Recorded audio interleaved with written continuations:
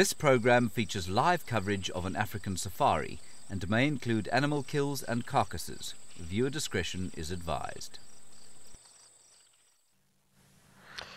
It's the end of winter here in the bush. The trees still are leafless.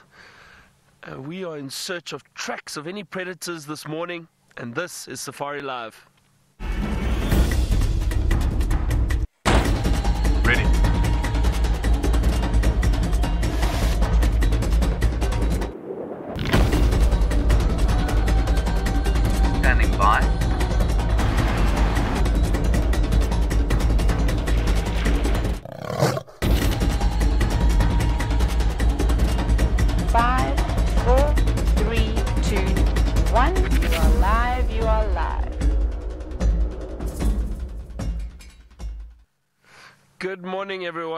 Welcome to Safari Live. My name is Byron, and on camera with me this morning is the Prince of the Mara, Senzo. now, um, we've just got started. It's just myself out at Djuma, as you know, for the next, uh, still for the next few days.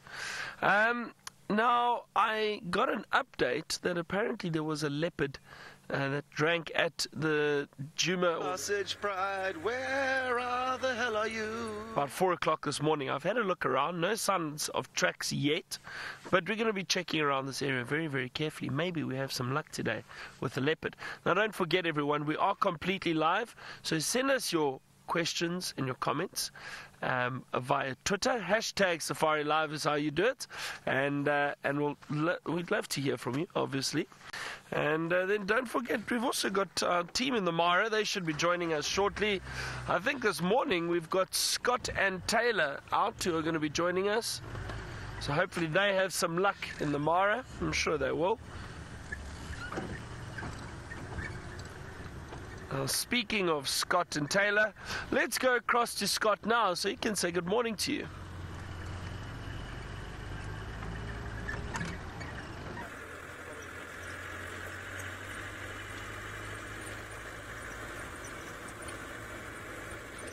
Hello, everyone, and welcome to the Masai Mara in Kenya. It is a cloudy, fairly chilly morning, and my name is Scott Dyson. I'm teamed up with VM, aka the Wildebeest, and we can see Wildebeest running up on that hill. Now, we're quite far away, but I'm just going to stop and let Wildebeest do his business. What is causing these? Oh, that explains it. Hyenas are hunting. Let's try and get closer into that area. Woohoo! Now, hyenas are very proficient hunters when they want to be. So it's important that we realize they are not just scavengers, and we've yet to actually document hyenas hunting. So let's see if this morning we're going to get lucky. It certainly looked like, I think I saw two hyena there, and they must be working that herd. The herd's still running. Hold on, everybody. Woohoo! These roads can be a little bit bumpy, so I've got to make sure I don't send VM flying out the side of the car. He's not, doesn't have much to keep him in other than holding onto his camera. This is going to be absolutely awesome. I just wish we could get there a little bit faster. I wonder if we should shoot through here. Let's try it. Okay. Gotta just make sure I don't drive into a hole. But thankfully the grass is not too long.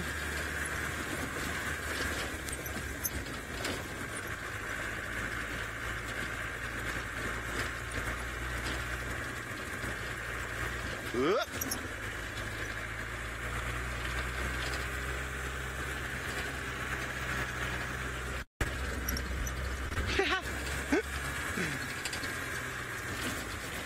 I can see lots of hyenas. Copy that, Bex. Um, there's a chance we're going to go live on Facebook as well. Some people can't really commit to the three hour safari, so what we try and do is also go live on Facebook when we find really exciting scenarios unfolding. That we're trying to rope people into the Safari Live family. That is our theory. Okay. It seems like we've caught up with the hyenas now. Let's just stop here and see what's happening. We've got quite a few here, but there are also some on the hill closer to those herds. So let me scan with my binoculars. Let wildebeest also get his bearings as to what's going on. Okay. So there was just one that was you see that one below the tree there, VM? So it's just that one there that I can see that's close to the herd now. There may be others, but sadly it looks like the rest of this hyena's clan are heading into this forest to our right. So I think it may have just been an opportunistic kind of inquiry where these hyena thought, well, let's just kind of have one last little stab at hunting this morning. They may have been hunting all night, and a lot of the time they'll simply work the herds. Oh, good morning. Some greetings. They'll work the herds in the hope that they'll find one with a gammy leg or it's just not looking quite right. But I guess once they had worked that portion of this herd, and realized that none of them were going to be easy to take down. I think they've all given up, sadly. But what an exciting way to start the morning safari. And it's a great privilege to have you guys along for the ride. Now, Taylor is also out this morning. James is taking the morning off because he is going to be doing a session across the river. He's going to hopefully spend some time with the Five Musketeers, the Cheetah Coalition this afternoon, spend the night out with him. So, some exciting prospects for James this evening, as well as all of you, because you'll be able to join along, and also exciting prospects right now, because you're about to jump on board with Taylor and find out what her plans are for the morning. How exciting. What a magnificent way to start the day with some hyenas running around. I wonder if it wasn't the same clan that I was following about last night. Good morning, everybody. My name is Taylor, and on camera with me today, I have the pleasure of, well, joining Mar- Manu. Hey, how great is that? First time. I'm now slowly just getting back into the swing of things, and we are sitting among zebra, wildebeest, and I see lots of cars up ahead, so I wonder if the Ngama Pride aren't about. Remember, this is live, this is interactive, so send through all of your questions. You can hashtag Safari Live, of course, on Twitter, or you can chat to us on the YouTube chat and ask away. But it is beautiful out here. Not much of a sunrise, unfortunately, very cloudy, but that doesn't matter. The scenery, the animals, that all makes up with it. You can't have everything all the time, I suppose.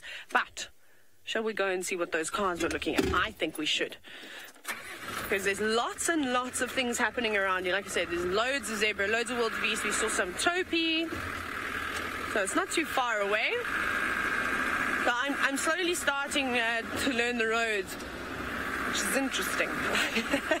Obviously, yesterday, if you were watching, I went all the way to Tanzania. It was great.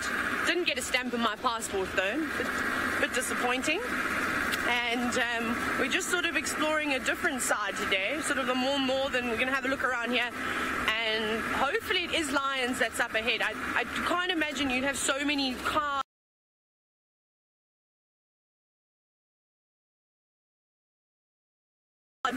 It's got to be something fantastic, but they're driving off, perhaps. They're not patient. And we know that patience is the best thing, especially when there are lots of animals around. I couldn't believe that hunt that James had yesterday. It happened so quickly. And, and that's what's so exciting about this is that you just you, you don't know what's going to happen. One minute you could have a lion fast asleep and a wildebeest herd could come too close, or a lioness might think, oh my goodness, here's an opportunity, I'm going to take it, and then off they go. Let's see, what's, have I seen something? Maybe, or have I just see, I'm good, really good at spotting termite mounds and calling them lions. Yesterday I did that about 10 times. It was great. Jandre, I think, wanted to bop me on the head. There are they lions, and looks like they might be hunting. Hang on, let me get a view. You see them there, Manu? It's quite a far way away, but uh, there are some wildebeest just on the other side, maybe um, there we go. They're lions. Ears pricked, all facing forward. Those wildebeest are close. Very, very close. how exciting is this? Now, they've got a lot of tree cover. See what they're going to do. Now, I'm not actually sure about all the lion prides just yet. I do see another car going around. I wonder if we can loop around on that road like they are. But let's just sit here for now.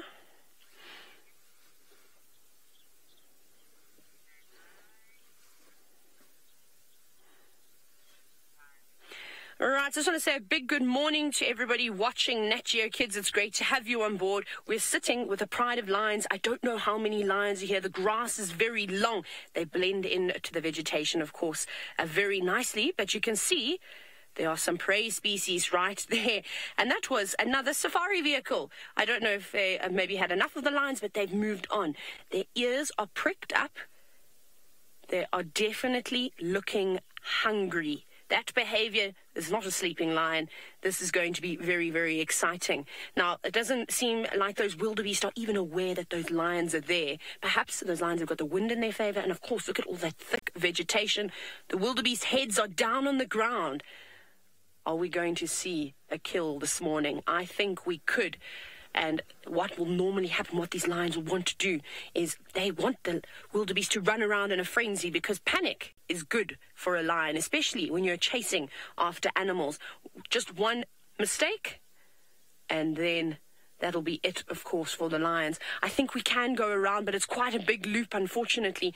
Maybe we, let's just hold our ground for just for the moment. There's lots of vehicles moving in and about, and one thing we, we want to make sure that these Lions have the best opportunity to catch their breakfast. That they're edging slowly, edging closer. What they might also be doing, uh, we've got to just wait and see what tactic they're going to go for. Lions are very, very intelligent, and they're very good problem solvers, and it's why they're one of the most successful cats out in Africa because because they work in a team. They don't just hunt on their own. They can, they most certainly can do that.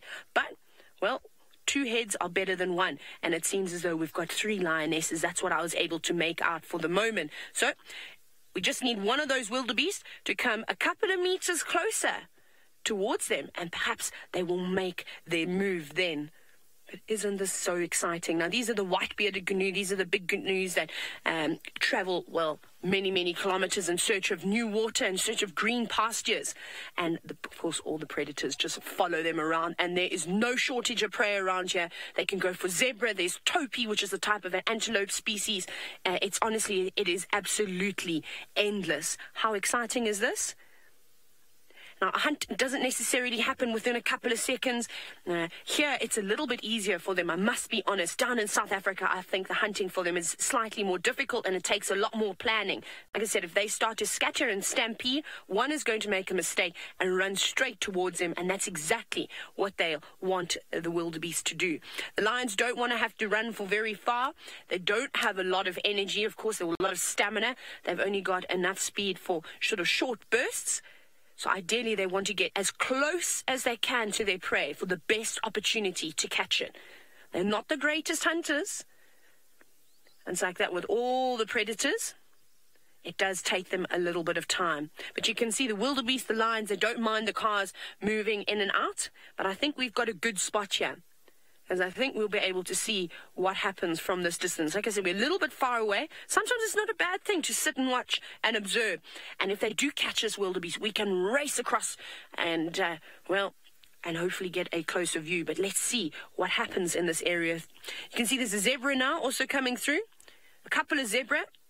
Who knows? Maybe they decide not to go for a wildebeest. Maybe they decide to go for something with stripes instead. And I think the Ngama pride is quite a large pride, if I'm not mistaken. They've got a couple of cubs, so they need to catch something large. And a wildebeest and a zebra would do. A buffalo would be even better. But when there's an abundance of wildebeest like this and zebra, why go for something like a buffalo? Hello, Mike. Now, you've said this is amazing that it's happening right now. Isn't that incredible? And if you'd like to ask a question like Mike just has, please, I'd love to hear from you. You can comment away because we're in the Mara Triangle. There, one lioness goes. Is it, is it, or is it a youngster? They see they're running. They're not sure. I didn't see where the others went. Getting closer, waiting. See, going down. Oh, wildebeest are jumping. No. What's going to happen now? What they can do sometimes is one will run on the left and encourage the animals to start moving, and the others could have moved off into a better position, waiting for those wildebeest. See, they can see one lioness still. Maybe that's what's happening here.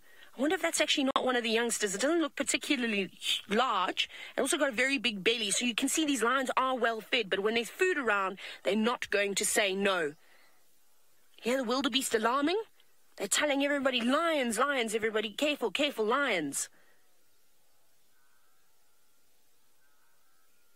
But that won't stop these lions, though. There's lots of young wildebeest in and amongst the middle. If they can't go for an adult, a young wildebeest that's not experienced might panic even more and get lost from mom's side. This is incredible. Like I said, it's live. It's happening right now. I have the privilege of sitting here with this pride of lions, all these wildebeest, and their zebra. And hopefully, we're going to see an attempted hunt here. I wonder if this is not a youngster. It's a bit difficult to see. We're so far away, and maybe it's inexperience uh, compelled it to jump forward too soon.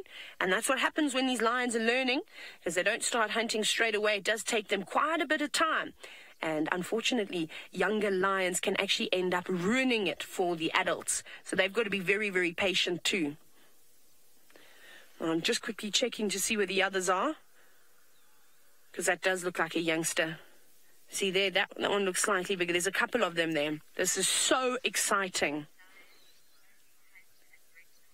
There's a, there's a whole lot coming. There's actually, I'm not, there's a whole bunch of lions here. Now, Lola, a question from you, wondering if lions only hunt at breakfast time. Well, Lola, any time is breakfast time, dinner or lunch for a lion. It just depends on, of course, uh, what prey is around. And, and this is what's happening at the moment. Is these lions are getting in amongst the the prey species. They will sit and go, you know, during the heat of the day, they might go to sleep and relax, but they, uh, and then they'll wait for the herds to sort of forget about them and move closer. They definitely look like they want something. I think that they, unfortunately, that younger lion that we saw maybe just messed it up. You see, yeah, that's another youngster there on the left, and that's an adult on the right. So there's quite a few juveniles. So that's the problem here. And that's the, the issue that these adults are going to face is that you can see how excited those youngsters are. You can imagine, you know what it's like if you have a kitten at home and you dangle a piece of string in, in front of their faces. They just can't get enough of it. They can't stop swiping away. They're so excited. It's exactly the same thing with these lions. But that piece of string of course, is, uh, well, in the form of wildebeest and zebra. Now, you can see a lot of cars over here. They're very excited people who have traveled from across the world coming to the Mara Triangle. So we're in Kenya at the moment, and, and that's what they're doing. They're also watching this exciting, uh, well, all this excitement unfold. And like I said, it might not happen right away. It could take ages. They could constantly get up. Those youngsters could keep chasing the zebra and the wildebeest around, but until one of those adults make a move, then we'll see. And they can run so quickly, these lions. A charging speed of a lion is 22 meters per second. That is quick. Before you blink your eye, a lion would be at your feet or at the hooves of a zebra or even the wildebeest. Isn't this so cool? This is my first time in the Mara in Kenya, so this is all real new for me. I'm jumping for joy. Uh, South Africa is obviously very, very different. We don't get the large game concentrations like this. So at this time of the year, when the animals are moving around, uh, constantly looking, following the rains, really, it's it, it, there's just action everywhere you look. You drive. There's animals on the left, on the right. There's some wildebeest running. What's happening there? Maybe there's a lion, a young lion that's come through. They're panicking. Rishi, hello to you. Wondering if lions prefer wildebeest over zebra. Lions are not picky creatures. Uh, they'll take whatever they can get. Obviously, in this area, there's an abundance of prey, uh, so they could go for anything. So even if there were a couple of Topi or Thomson's gazelle or Grant's gazelle in the mix uh, with the zebra and the wildebeest, whoever made the mistake and came too close, that's the one they're going to go for. They also, those lions are scanning for a weak individual. For young, obviously, they'll be much easier to take down than a a, a healthy adult wildebeest or a zebra. So they're very, like I said, they're so intelligent and they're watching. And that's why hunts don't necessarily happen so quickly, is because once they do a big dash, if, uh, if they run 100 meters at full tilt, they're going to be exhausted. They might not have enough stamina to make a second attempt. They might have to rest a little bit and then try again a bit later. That's also not a problem, though. Like I said, these herbivores are constantly being surrounded by predators that they sometimes they become a little bit blasé about them put their heads down and carry on eating and completely forget that the lion's about, or the herds that have seen the lions move right out of the area and the next set come through. You can see that lot at the back have obviously been warned that there are lions here, and they're not going to come this side. They're going to try and avoid the spot.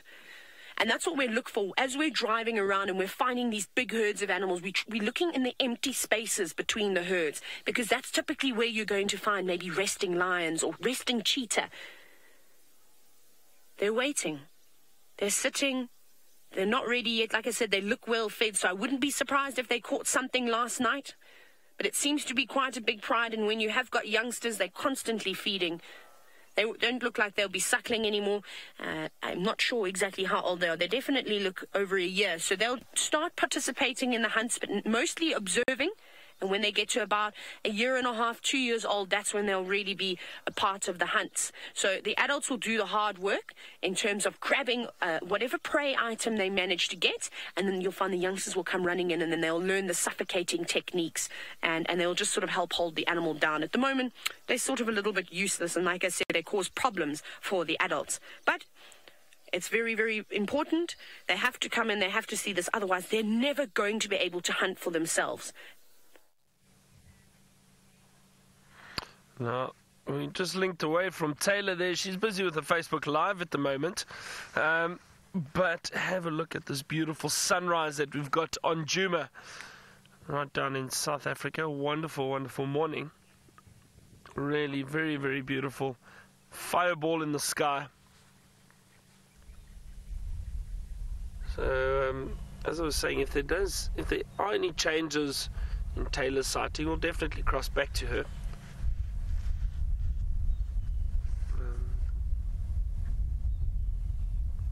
Amazing how quickly that sun rises. Now, I'm sitting here because I actually heard what sounded like zebra alarm calls, and we're in this area, but I think possibly on Torchwood. So just to our east.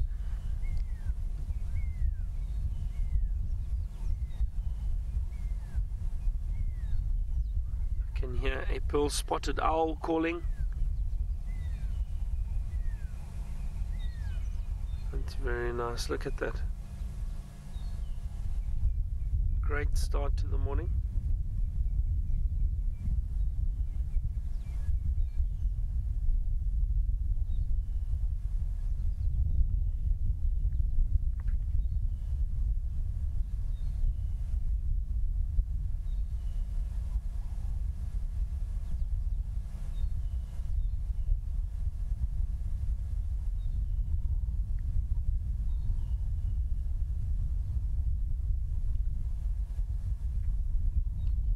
Very peaceful. There's a few birds calling in the distance.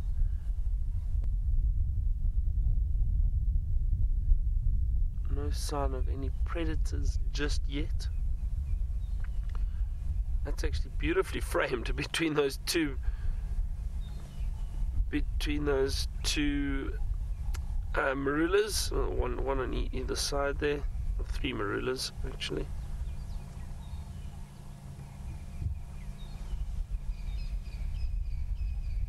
Lovely frame.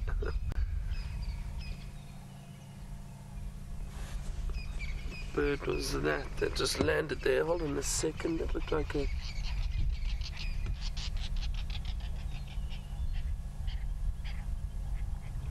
It's an African harrier hawk. It looks like it. Oh, let me just see. It's quite far.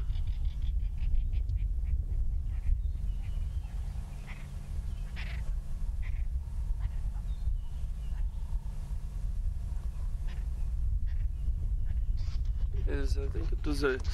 It's um, actually just being mobbed by a lilac-breasted roller. I don't think we can see it now from this angle, but it was a juvenile African harrier hawk. It just flew through there.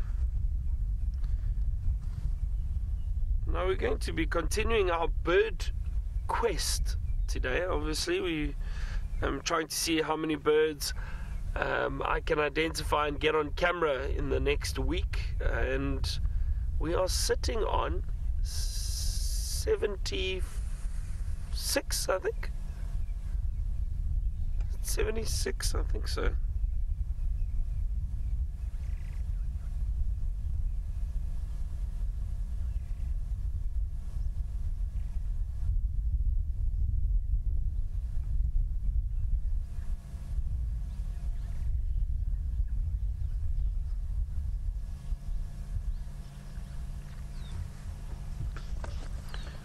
It is always wonderful to see the wildlife and the animals and whether they are hunting or, or interacting, but it's also just wonderful to appreciate sunrises and sunsets and listen to the bush. There's so much more going on out here. That lilac breasted roller is very unhappy. I'm trying to see if I can find that African harrier hawk.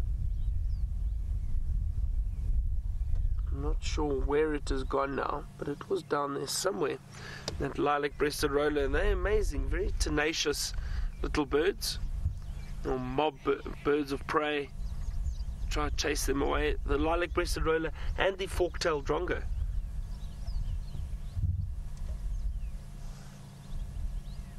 Often mobbing birds of prey, trying to chase them away.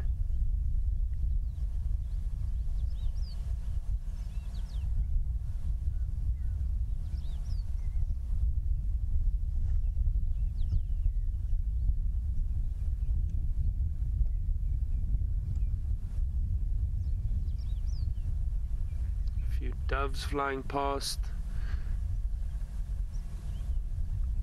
I haven't heard any more alarm calls from the zebra. I couldn't find the zebra actually.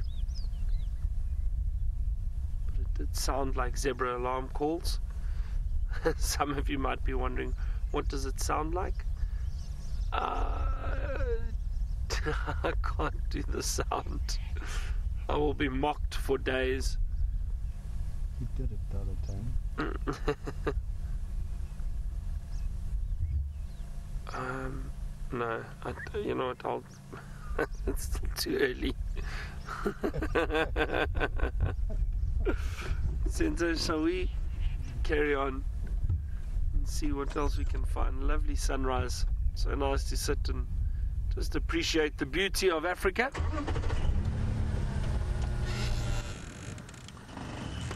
Let's see what else we can find.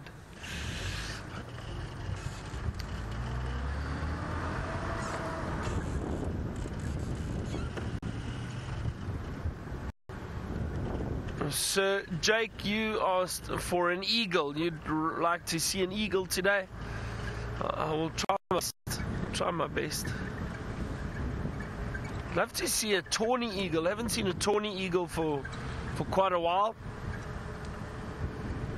Oh, first prize for me would be a martial eagle. It's my favorite bird. Love seeing the martial eagles.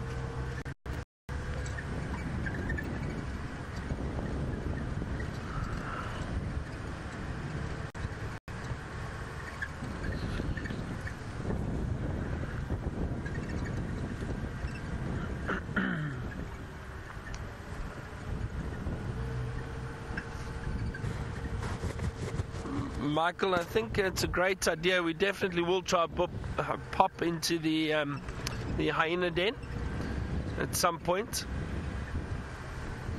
I think uh, maybe we maybe oh there's a look at that, Sir Jake, an eagle for you, sir. Have a look up there.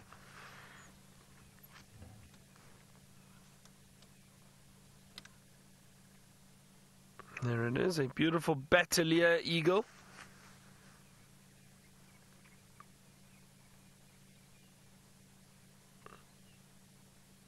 Now, I'm sure this is one of the bateleurs that nest in this area because we often see bateleurs around here.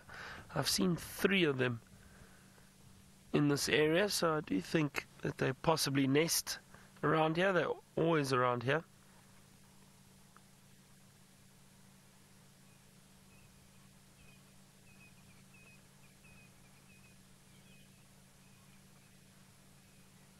No, shaking some feathers.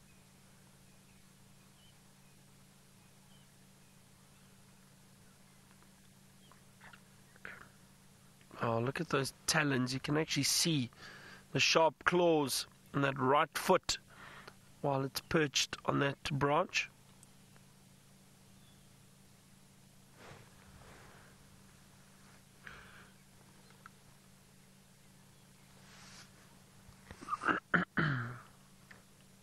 Oh, hang on, look here. look what I just got. Look at this, everyone. That feather that that Bateleur shook off just floated all the way down to us. There it is. A Bateleur feather. there we go. Doesn't look like much, just. But that is awesome. It floated all the way down from there, and the wind carried it straight down and just drifted to the vehicle.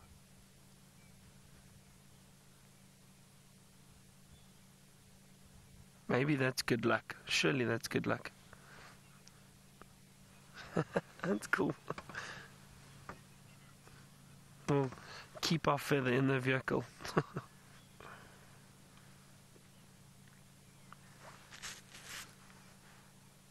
so, Snazzy, you asked what what is the what is the smallest, most powerful bird? Um, uh, smallest, most powerful bird. Hmm, I wonder.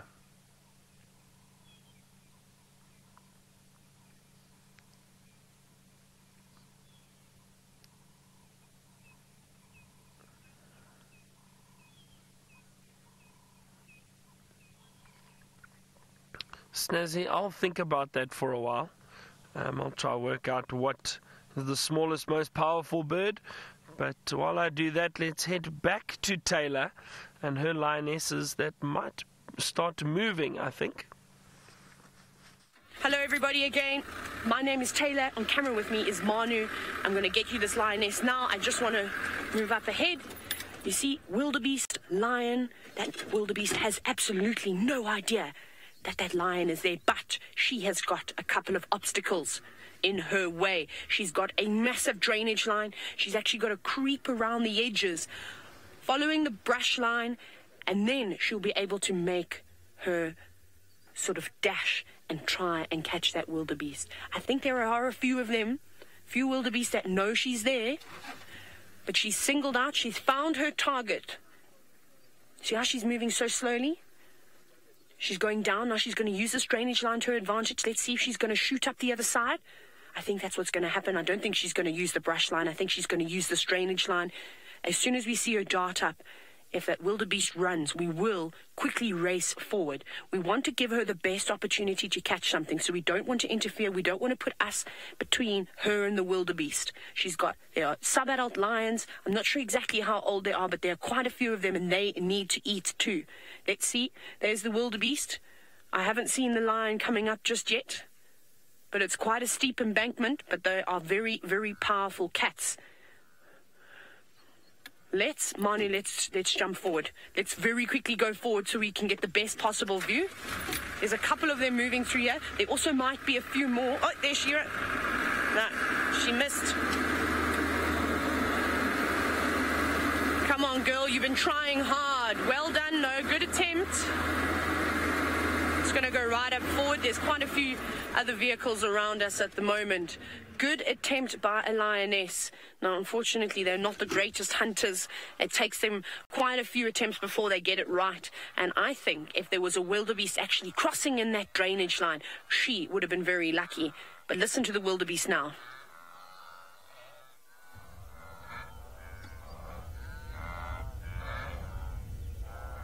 That's them saying lion, lion, lion. And there's a few of them around here. It's quite a large pride, and they all seem to be scattered out. I did think they ate something though, because I saw the sub-adults a moment ago, and they had relatively large bellies. So they it could have been feeding on the remains. She's going down into the drainage line. I think what she's going to do is she's going to sneak up to them and go around. Wow, how exciting! So she's just dis- uh, disappeared down there. I think maybe we should try and anticipate her movement now and get around and get in front of her. Let's quickly go and do that. She's going to make another attack. Now, Dwight, you've said that this is so much fun to watch. Isn't it exciting? It's live, it's happening right now. You can send through questions, comment away, I'd love to have chats with you this morning. So, how great is that? She's not using the long grass right now for her cover. She's actually moving through this entire drainage system. We're going to sit here. I think she's going to move away from these one wildebeest on our right. She's going to try and make an attempt on some other wildebeest that don't know she's here. We should pick up on her. Let's have a look. She's keen. She's very, very, very keen. Like I said, it could take a couple of attempts before she's successful. She's not using too much energy. She hasn't done any sort of big, big sprints that were, uh, would exhausting her really. Now, William from Kansas City, you're wondering what time it is. It's quite early in the morning. It's 25 to 8.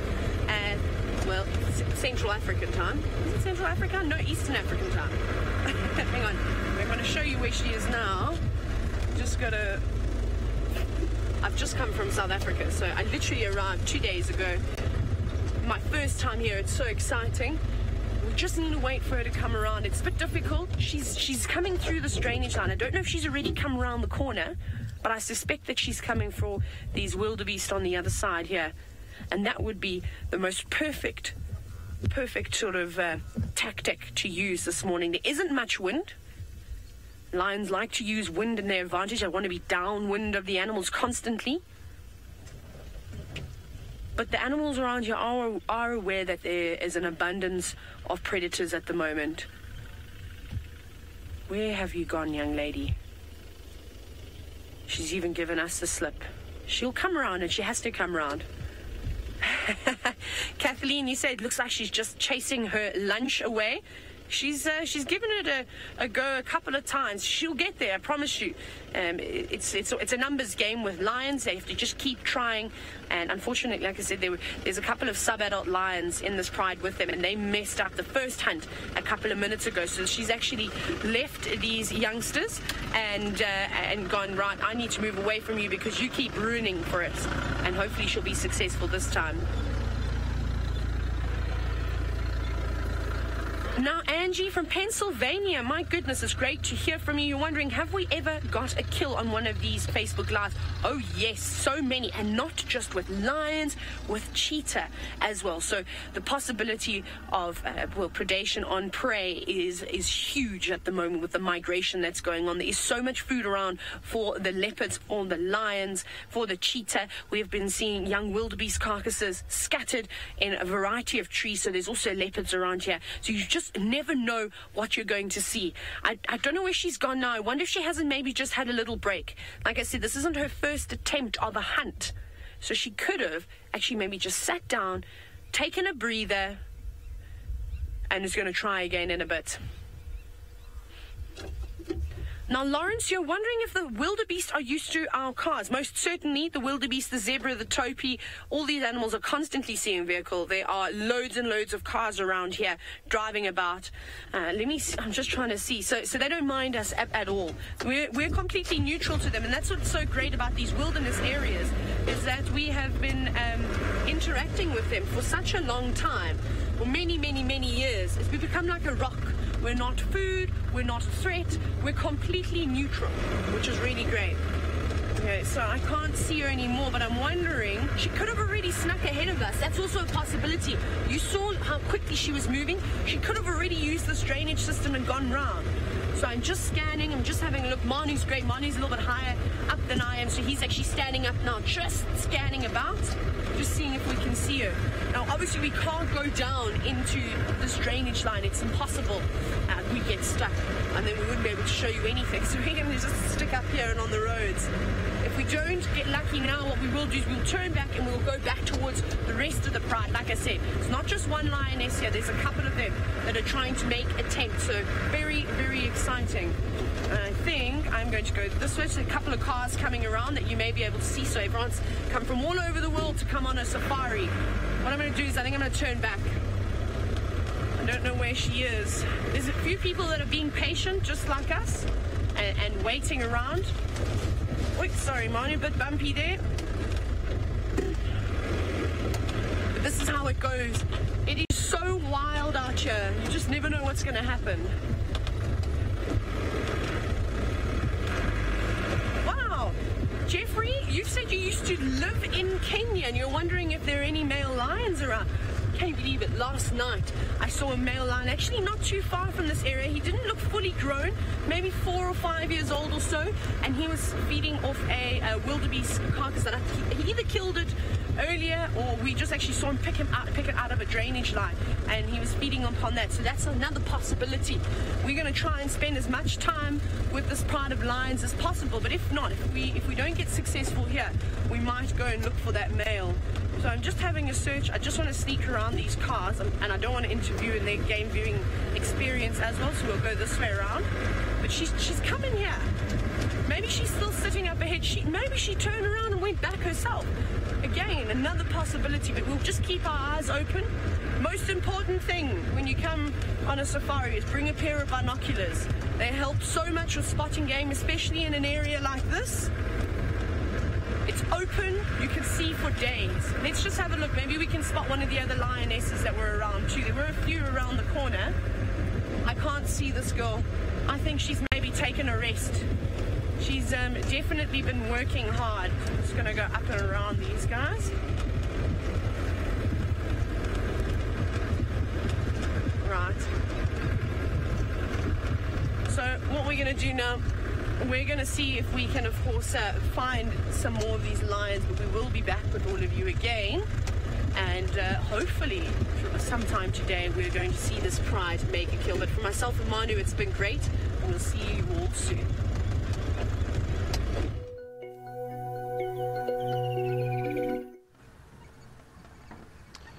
Sounds like there's a lot of lion activity up in the Mara again. That's exciting. Now, I saw some fresh elephant tracks. Looked like they were heading in this direction. We're going to have a look and see if we can find the Ellie, Ellies. That would be great. Um, and then I heard one of the other guides say he had tracks of a pride of lions um, on Djuma. So we might head into that area, give them a hand, see if we can find something.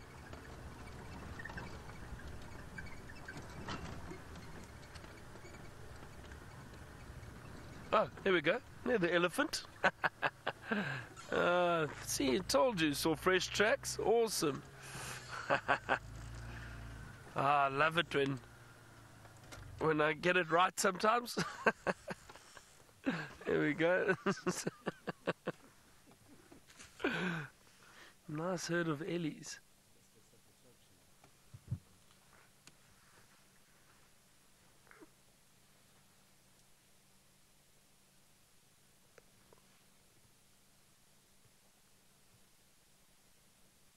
Hopefully they decide to come a bit closer.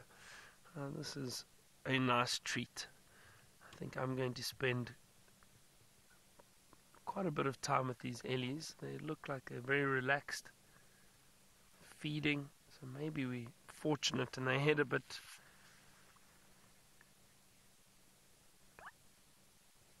um, come a bit closer perhaps. Let's see. Rashni, you were saying the landscape is so different from the Mara to to here um, compared to yeah, it, yeah, definitely. I mean, obviously, we um, we've got thick vegetation in that. A lot of the the Mara is very very open, so completely different. Um, also, I mean, they've got those the escarpment and that the mountains around there, um, which we don't really have. Well, not here. I mean, in the distance, we've got the beautiful Drakensberg. I actually can't see it today. Uh, no, can't see it. Some days are a little hazy and we don't have a clear view of them. But other days when it's very clear after a bit of rain, you can see that Drakensberg mountain range clearly. But yes, Roshni, the terrain is very different.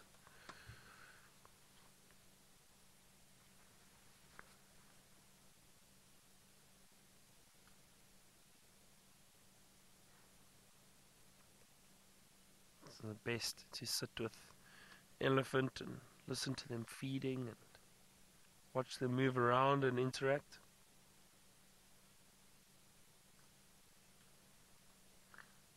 ML, you say they're coming out to say good morning to us.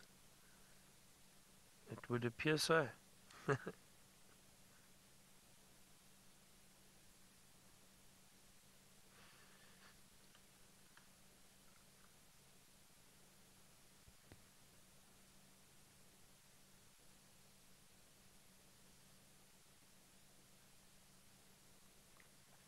I don't know if you can hear this elephant moving through the grass. It's coming towards us. Beautiful female.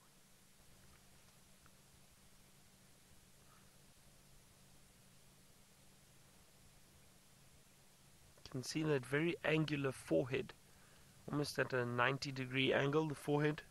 And that's a sign that it's a female. It's an easy way to identify female um, and a male. The males have rounder foreheads. Have a look at the grass on her back. She's obviously been throwing a bit of sand or something and grabbed some grass and threw that on her back too.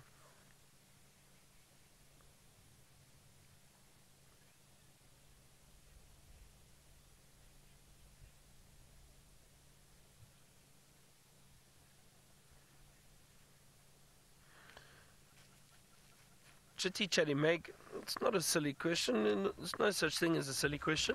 Um, you asked if the elephants breathe out of their trunks. Um, well, they do. They do indeed. Um, they, um, I've seen, uh, and the best, uh, uh, best um, uh, example I can give is when elephants are in the water, or they're crossing rivers or, or dams, they'll lift their trunks up um, to breathe. So you do see them uh, keeping their trunks above the water um, to breathe. So they definitely breathe through their trunks and their mouths. I suppose it's a it's a nose. That's all it is.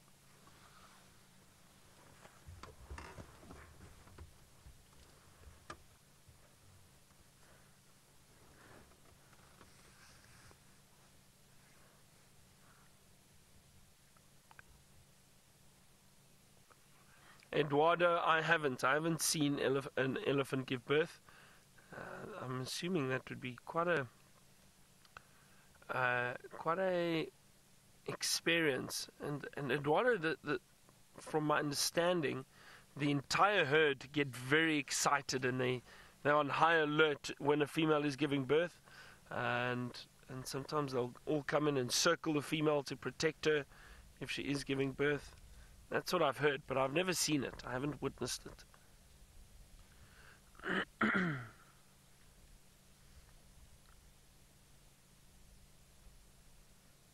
Quite a number of elephant. I can't see exactly how many there are. Um, Senzo, let me just move forward a little bit. I think we might have a nice view of those from this angle.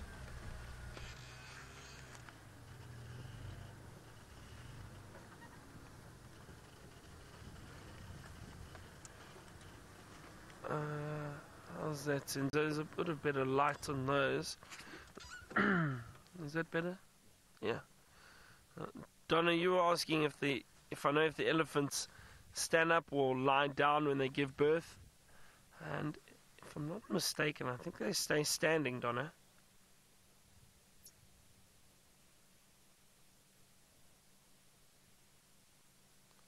I do think they stay standing.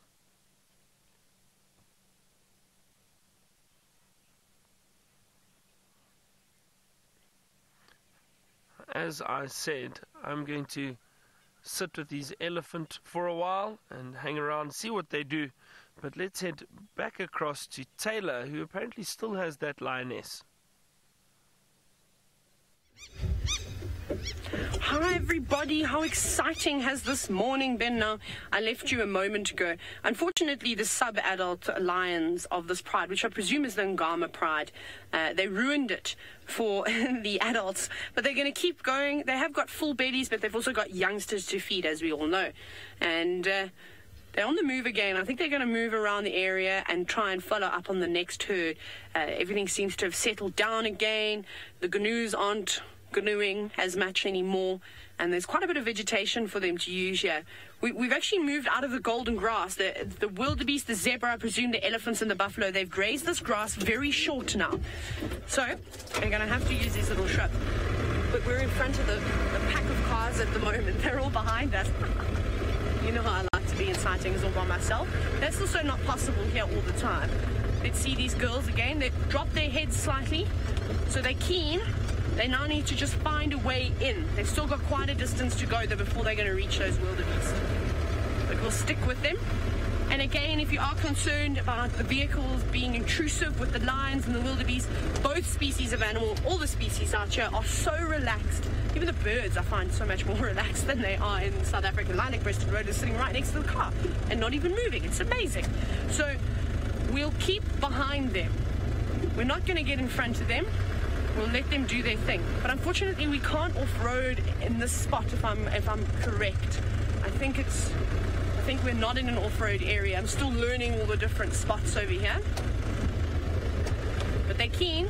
They've left the youngsters behind now. Good job, lionesses, because they're going to just keep ruining your day, I'm afraid. And what the third Ngama female has actually gone round to the other side as she disappeared in a drainage line, or they call them luggas here. Remember in South Africa, we we called them dongas.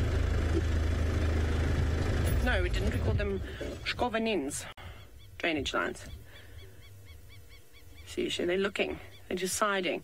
Maybe they're going to split up. Maybe they won't go together. See how she's creeping again, but they've got they're far away from these wildebeest.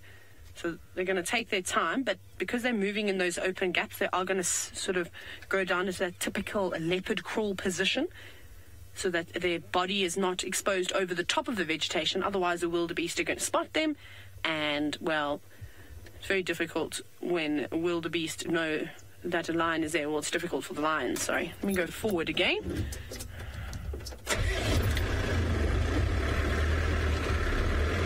I wonder if this lioness is perhaps not going to stalk, stalk, stalk, and then show herself. It's a technique used often by lions. And then they'll run in the opposite direction. And hopefully that second female will be waiting, laying down in the long grass, and then just jump up and grab a wildebeest that runs towards her. They've just gone together. So using all that, that vegetation there, those little scrubs, scrubs of shrubs, and just thinking what the best spot is going to be. I think let's look back. Just going to turn my poke my nose like this now.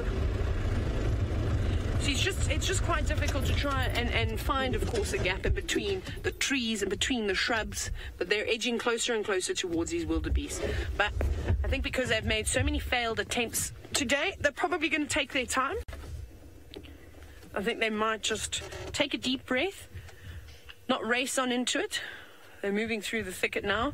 Sort of, uh, uh, you can see all the wildebeest. They don't know anything. Heads are down on the ground and grazing, as they do.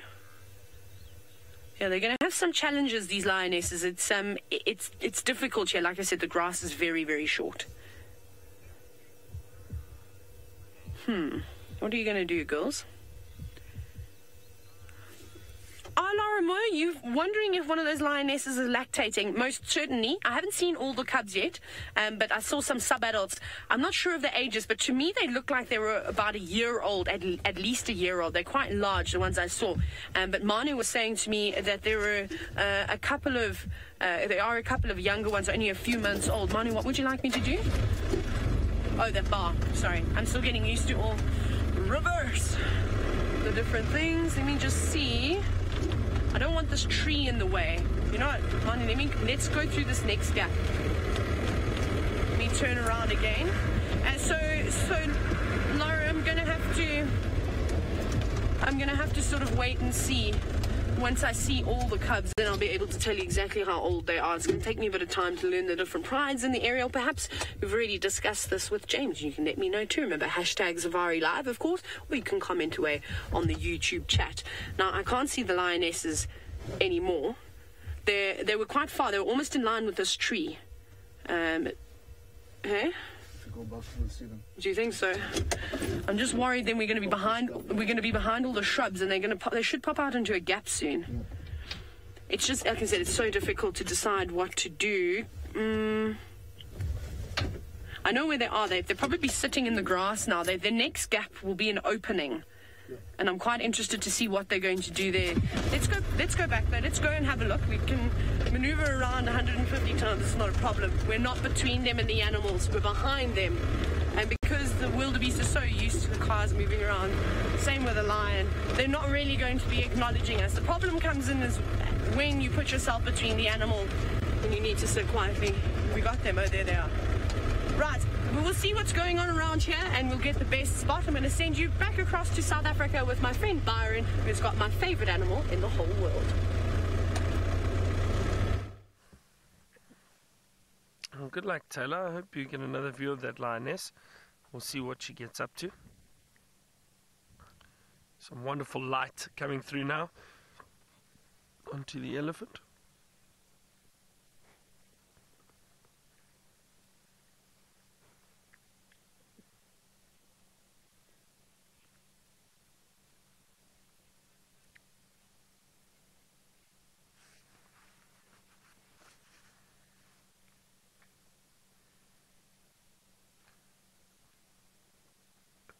So, Jake, you were asking what do I think is the reason behind the size of the elephant's ears? Well, Sir Jake, the um, probably the main reason is is for cooling, but obviously it helps uh, the hearing of the elephant. So, so from a hearing perspective, those ears uh, I mean, with the large ears, it helps them focus or or pick up sounds very well. But also, Sir Jake, have a look at that elephant flapping its ears. So, with the African elephant, as a cooling system, they've got a lot of veins that run through those ears. So, by flapping the ears, it basically cools the blood down. You can see some of those veins through there, but on the on the inside of the ear, you see it very clearly. So, by flapping the ears, they cool the blood down slightly, not by much, but it does help regulate temperature. It takes about seven to nine minutes uh, between seven and nine minutes um, for the blood to circulate through the entire body from those ears. So, as I said, it does help drop the temperature, not by much, but it does help regulate temperature. So, they'll stand and flap their ears. They use their ears as a sign of aggression, too. They'll flap them very quickly if they are upset. They'll lift their heads up, open their ears, make themselves look bigger. All those, I suppose, are reasons or uses of the of the ears the big years.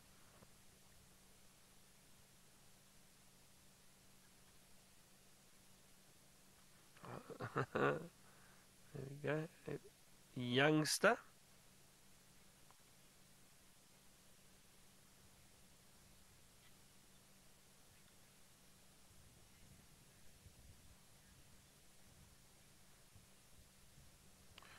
All right. Now, I think you know what. I just got an update from one of the one of the um, viewers from that have been watching on the camera on the uh, dam cam, one of the zoomies, and apparently there was a lioness that moved near Vuyatela Dam.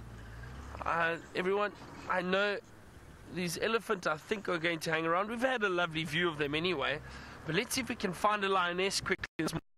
So I'm not too far. I'm on Central Road. Oh, don't want to rush past the elephants. Don't want to startle them. Good morning.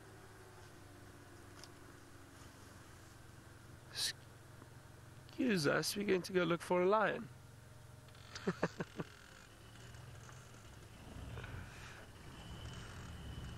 so that's exciting. Let's see, because I know I heard some of the other guides say they had tracks of the lions, but no one's found them yet.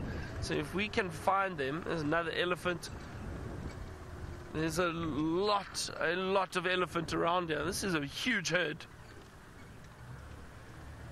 So um, I think I'm probably going to get to that dam in the next five, ten minutes, five or ten minutes, I think. Depending what we see along the way.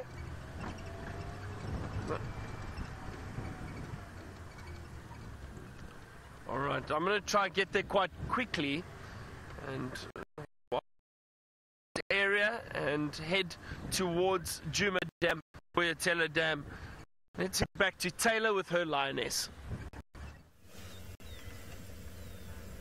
Hello, everybody. Welcome to this live broadcast. It's happening right now in Kenya in the Mara Triangle, and we're sitting with a couple of lionesses, and they are hungry. Look at that posture shoulders down, head on the ground. They're finding the best way round to get to the masses of wildebeest, which you can see in the distance, all those black dots. Now she's walking right past the car. It is so close. Like I said, this is live. If you've got any questions for us, please comment away. We're going to try and keep up with this lioness. I'm going to have to turn around now because she's making a move again. Right. Let me just put the car into reverse. Hi everyone, I'm Taylor and on camera with me is of course is Manu. This is it's so exciting. I don't know where to park, I don't know what to do. We're gonna try and pull up as close as we can. There are lots and lots of vehicles around here unfortunately. She's sitting in the grass now. She's laying flat She's looking for those wildebeest. It's difficult for her here, though. Look how quickly she's going. She, she needs to move as quick as possible when she's in these open areas. The wildebeest, the zebra, the buffalo, the elephants, the topi, all the grazers out here. That's why the grass is as short as it is. This is obviously a well utilized area, and this lioness knows it. She knows that she has got a difficult hunt ahead of her, but they're incredible animals, and she's not alone either. There is another lioness uh, that was waiting in a little thicket, and I think they're both trying to creep up, and hopefully, hopefully, they're going to work together. That's what lionesses do best. That's why they're so successful. The lions in Africa is because they're one of the few social cats. There's no other cat that's as social as a lion.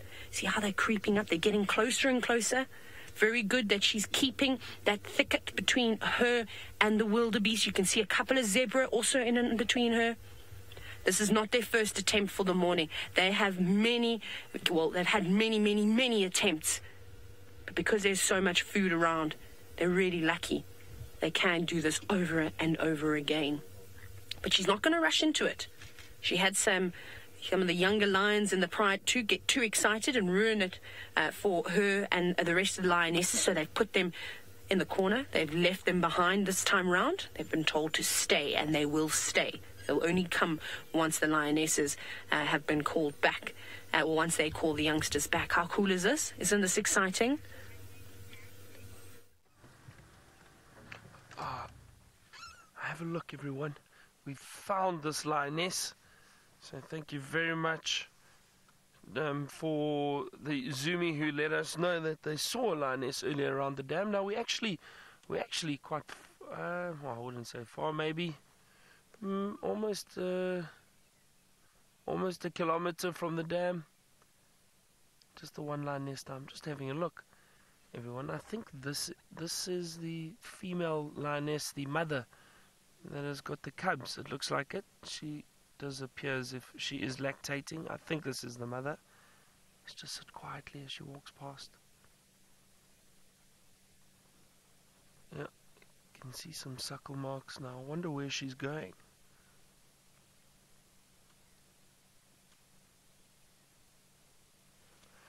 Now, I don't know if she has come from the cubs um, she's heading, look, she's heading in the completely opposite direction to where we had that den site last time, or the only time we've managed to see the cubs. But she's heading in the opposite direction. No, beautiful light on her. A lot of you saying she looks lovely in this morning sun. She does, she does. Well, this is a nice little treat.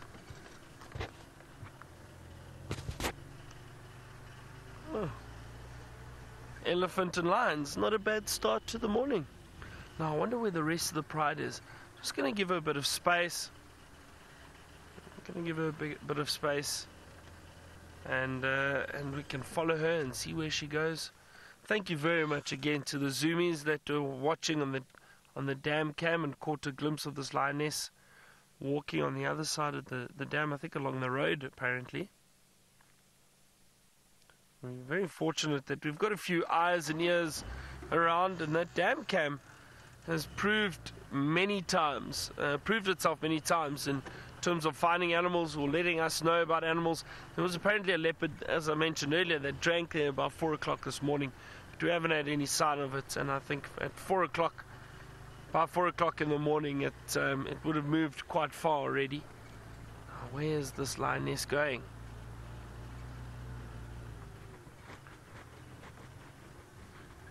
Wonder, I wonder if she moved the den. I, I have no idea, but everyone, if she did move the den, it would be exciting because she's heading further and further into Djuma. So she's currently quite basically well, in the cent- central part of Djuma at the moment.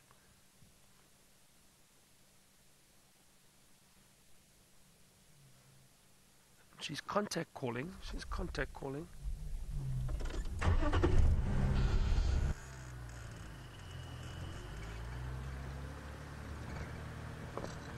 Elizabeth, you um, you were asking if this lioness is walking with a bit of a limp.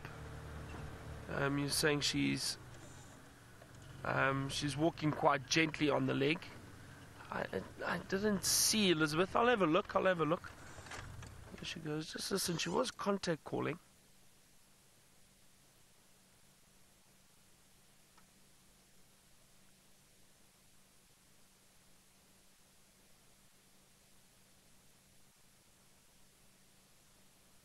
So I wonder if this lioness didn't perhaps uh, didn't perhaps go off and feed those cubs, and now she's looking for the pride again.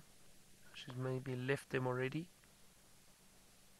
But it would be nice if we can just stick with her, follow her, see where she goes.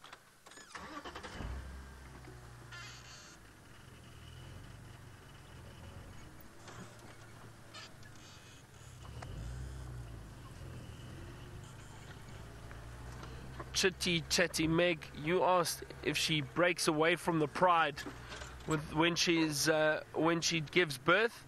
She does indeed. Um, sorry, I'm just having a look around here.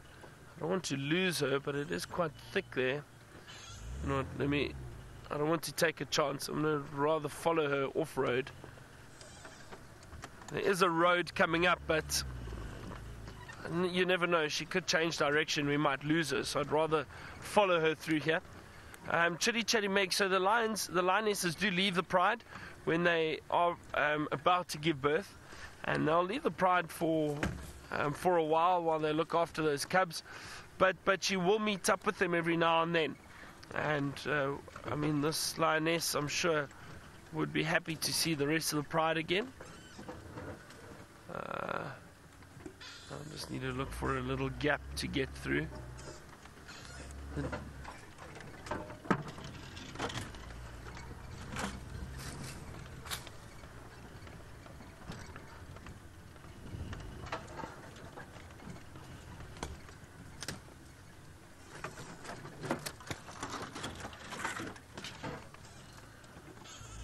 Sure, she's taking us through quite a thick area now.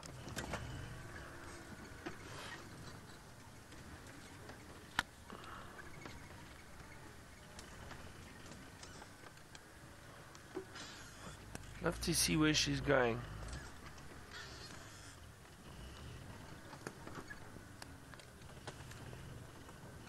Janine, sometimes lionesses can stay away from their cubs. Well, I suppose, excuse me, it actually depends on how old they are. This is not going to be fun. There's a buffalo thorn. Hold on, Janine. Um, Janine, they maybe a, a day, a day and a half, but uh, they try not to stay away that long. It's probably a bit longer, to be honest, Janine. Probably a bit longer. But um, but like I said, she would choose not to stay away that long. She'd rather rather go back and feed them on a regular basis, make sure they stay healthy and fed.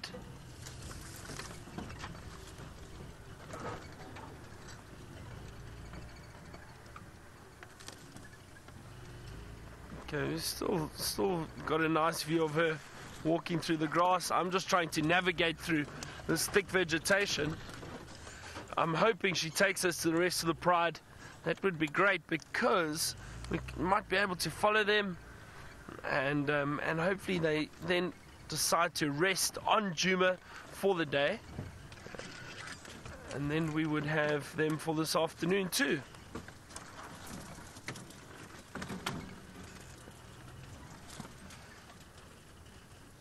Sure. She's really taking us. I'm glad we did decide to follow her though, because this area is so thick. And um, I think we'd probably lose her quite quickly. Where did she go now? She's still. Huh? Can you see her, Senzo? Oh, there she goes. Watch out. Oh.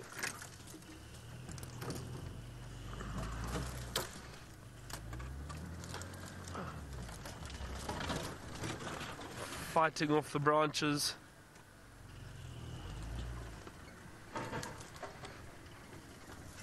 Watch out, Senzo. There's sharp thorns there.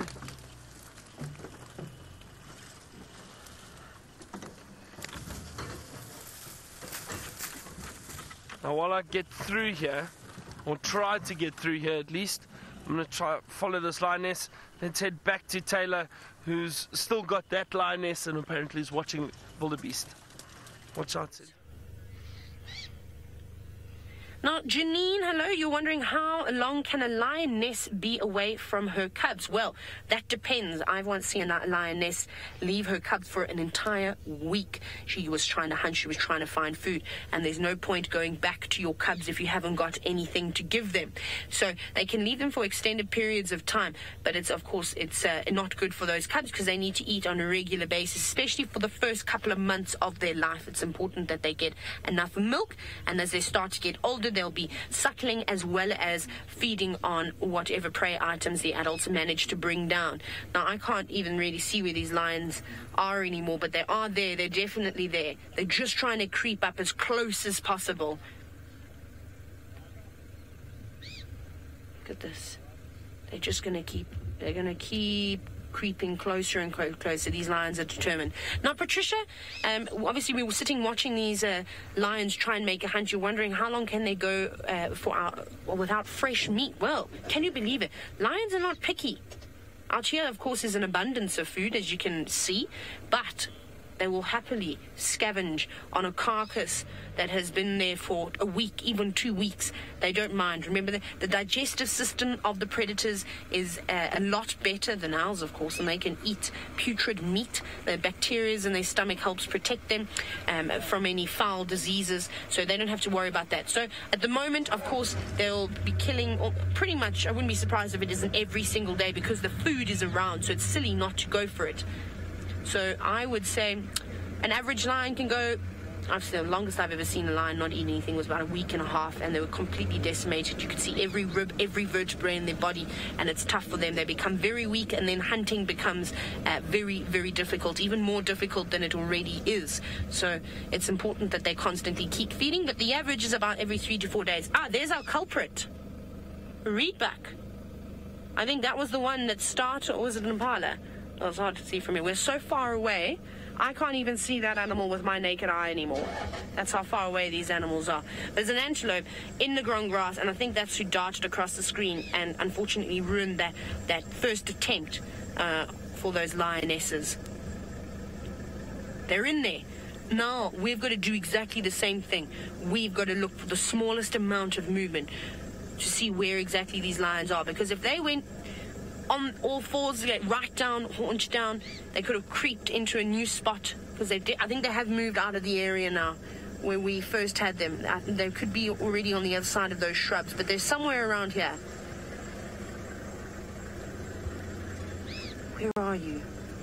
What are you going to do next, lions? They're so hungry, and they know how important it is, and they have a duty to go out and catch food and bring it back to the youngsters. The youngsters are not far from here.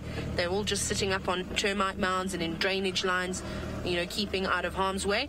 Because you must remember, a young lion also could potentially be in danger with big herds like this if they stampeded. could easily run over those young cubs. So the predators are not necessarily the top dogs all the time. Sometimes the prey turns on them too. It's just unbelievable the camouflage that they've got. And obviously, it's it can be frustrating when you lose these cats and you can't figure out whereabouts they've gone, but it's the best thing because you know that they're doing their job 150%. They're using their camouflage, they're using their stalking skills, they're getting down low, and they're going to hopefully make an approach. Come on, guys, you can do it. Those wildebeest are completely oblivious again that there were even lions around there. The zebra have even settled down now. Maybe they didn't see the lions. That will be very good news for those cats. I'm also just scanning around now. I'm going to look with my binoculars and have a look to see if I can't maybe see any movements in, in a different area. You noticed when you first came to us, or when we first arrived with you, those lions were on the move. They're quite happy to change up their position constantly. They might not just stay in the same spot. They're very lucky to have these little shrubs around. If it wasn't for that, I think that they would have to move to a different area because the grass, I guess, was saying earlier, it's not long here. No, I can't even see them anymore. Where are you? They're obviously just playing the patience game. I, let me tell you, if you want to see patient animals, watch leopards and lions. It is unbelievable how they will sit for hours and hours.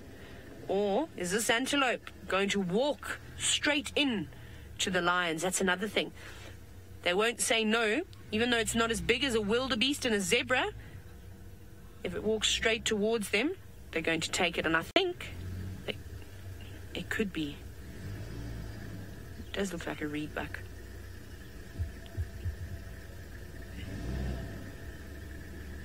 can't see anything just yet. That's still just the reedbuck moving around. Let me scan one more time with my binoculars. Maybe they're trying to creep around, go the other side. Like I said, there's still there's still a third lioness that's not around here. She could also be coming this way. We lost her. She went into the drainage line. She'd started making attempts of her own. She decided she'd she'd try hunting by herself.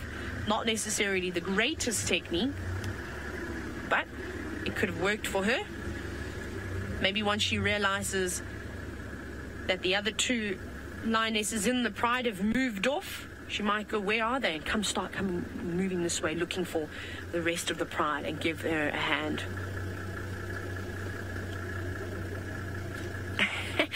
George, you said that you were really enjoying this. Well, I am so glad. And this is what's so exciting about a safari. It's like there's so much action that happens all in one go, and then all of a sudden you're like, where did they go? Where are they going to pop out next? They could pop out in a completely different area. That's what I said. I mean, they could be just sneaking around in between all these shrubs. I'll tell you right now, I couldn't get as close to a zebra and a wildebeest like a lion could. They would spot me from a mile away, and I make so much noise. As we as humans, we're not quiet. And these cats have just worked it out. They are perfectly designed for stealth, for absolutely everything. I'm, I'm reluctant to move. I'm quite happy to hold my position where I am now. There are lots and lots of other vehicles around, just because we know. All right, we've managed to follow this lioness. She's now lying on a termite mound. Wonderful view of her. Uh, please excuse the links from the Mara at the moment. They they they're busy with a lot of Facebook lives at the moment. So I'm trying to do as much on Facebook for Nat Geo Wild and Nat Geo um, and Safari Live. So listen, listen.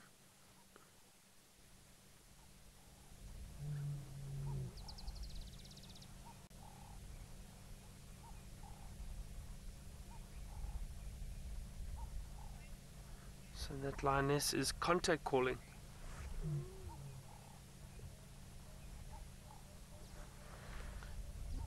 Sherry, you asked if the lioness would move. Hold on, listen to this contact calling.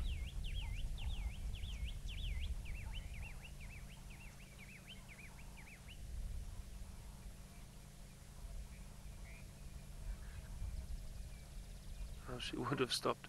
Sherry, you asked would the lioness move the den um, so regularly or stay in the same area? Well, Sherry, it depends. I th- you know, w- when these cubs are born, and they'll still be far too young to really move around for the first two to three weeks. Then, um, and then she may decide to move them uh, to another den site, possibly still while they are too young to move around for themselves. Um, and then, as they start getting older, she will start moving a little den site, probably three or four times, uh, somewhere around there. Occasionally, they might find a spot that they are happy with, and they might only move once and then keep the cubs there until the cubs are old enough to then get taken. To then get taken to um, just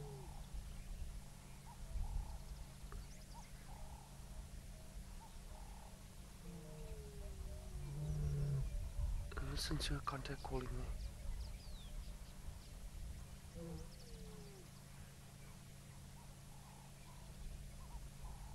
Charlie, you asked if a leopard can hear a lion contact calling. Definitely. Definitely. Just like we can. See if she roars properly.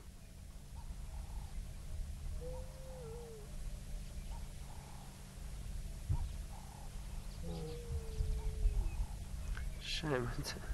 It actually sounds like a bit of a sad call. There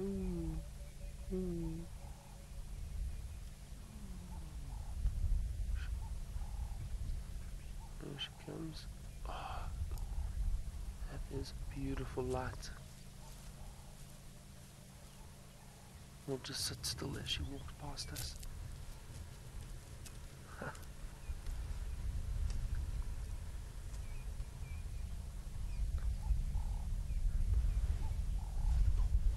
There she goes.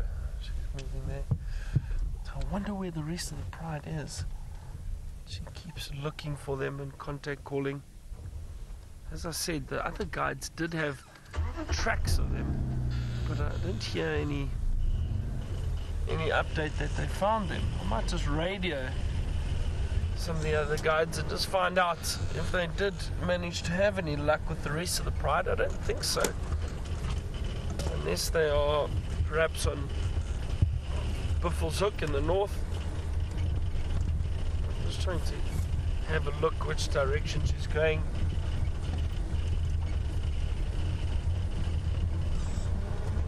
Sorry.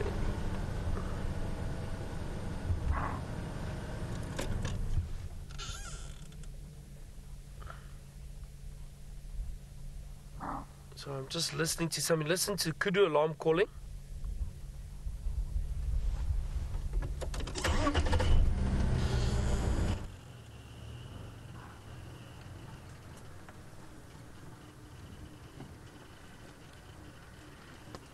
See the kudu that um, we passed some kudu earlier, and they've spotted uh, that lioness. And now they're alarm calling. It's amazing how alert they are. Just have a look at this. Just off to our left, you can see that kudu. Let's see if we see her alarm call.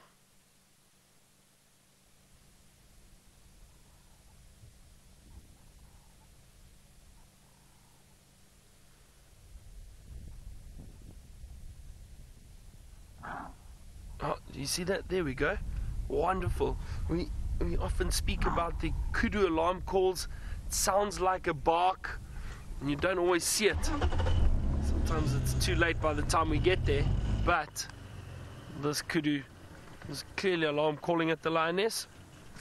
Oh, we're gonna have to stick with her again. Um, uh, we had a question of whether or not she was um, contact calling the lioness was contact calling for the pride or for the cubs. I think it's most likely the pride. She would know exactly where she put the cubs. She wouldn't need to contact call. She'll only contact call when she gets into that spot that she left them. Uh, sorry, Patricia, that was your question. Um, so definitely the pride that she's looking for. It's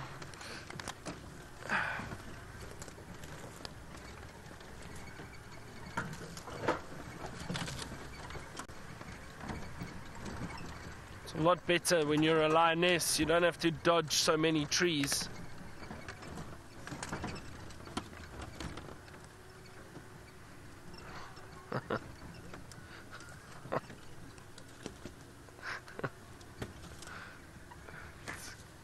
quite funny trying to navigate through the bush like this.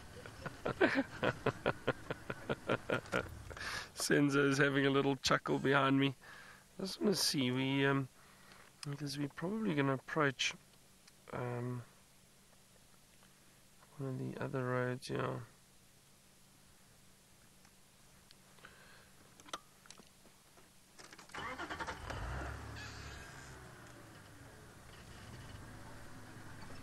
Uh, uh, Charlie, your question, sorry, and um, uh, I'm not sure if you heard earlier. Um, I was saying these lions, you asked, can a leopard hear the lion contact call? And yes, definitely.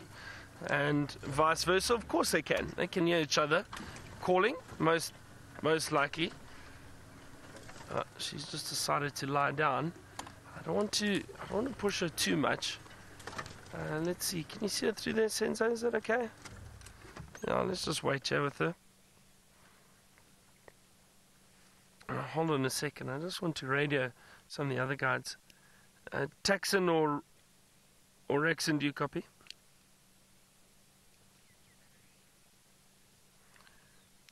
Uh, morning, Tex. Um, before we managed to locate on a single lioness, um, we basically between vultures. Uh, so yeah, between um, Nyala Road South and Vultures Nest Road, um, we're south of Central. Just a single lioness. She is contact calling. Did you have any luck with the Pride this morning? The tracks.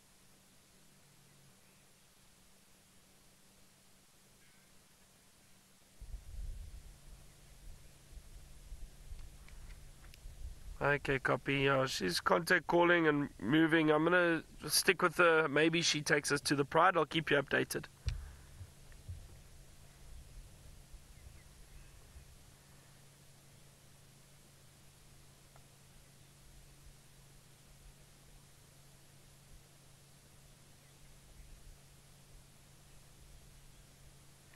No, doesn't sound like anyone else had luck for the Lions this morning. Just us. Team effort. Zoomies and us.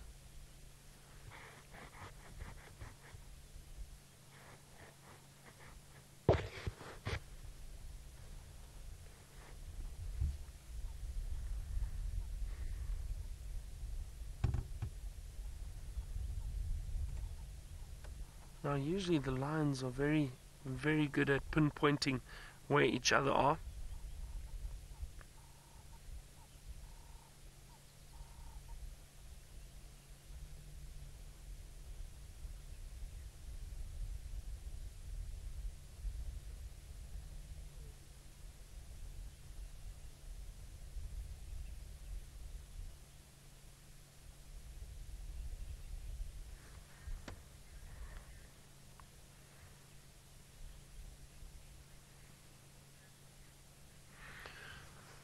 Stanley, Stanley, Stanley. As I mentioned, um, I mentioned earlier, you know, the li- the lion cubs can go a few days without food, but ideally the lioness will return every day and feed them. So yes, but like I said, this lioness may may very possibly have left those cubs early this morning, so they've fed. They will rest now for for quite a quite some time until she finds the pride. Maybe the pride are hunting again. Um, you know, she also needs to eat. Easy if she's got a pride to help her catch food.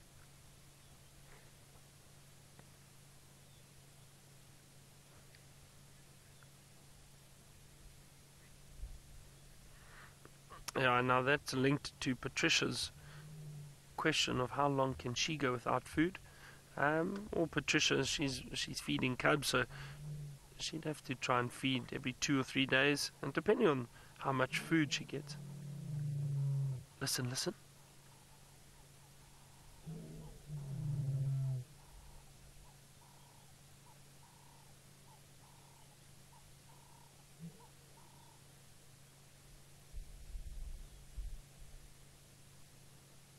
Oh, that sound, even quite a, even though it's quite a low sound, will definitely be picked up by the rest of the pride.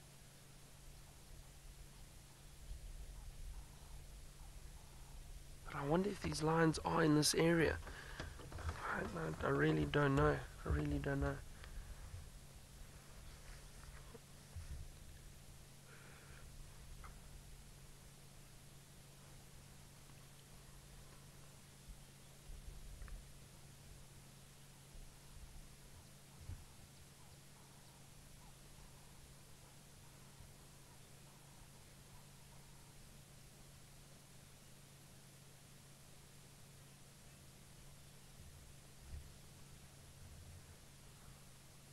Oh, we are going to stick with this lioness for a while. Hopefully, she finds the pride. But Scott has got a male lion in the Mara. Let's go and have a look.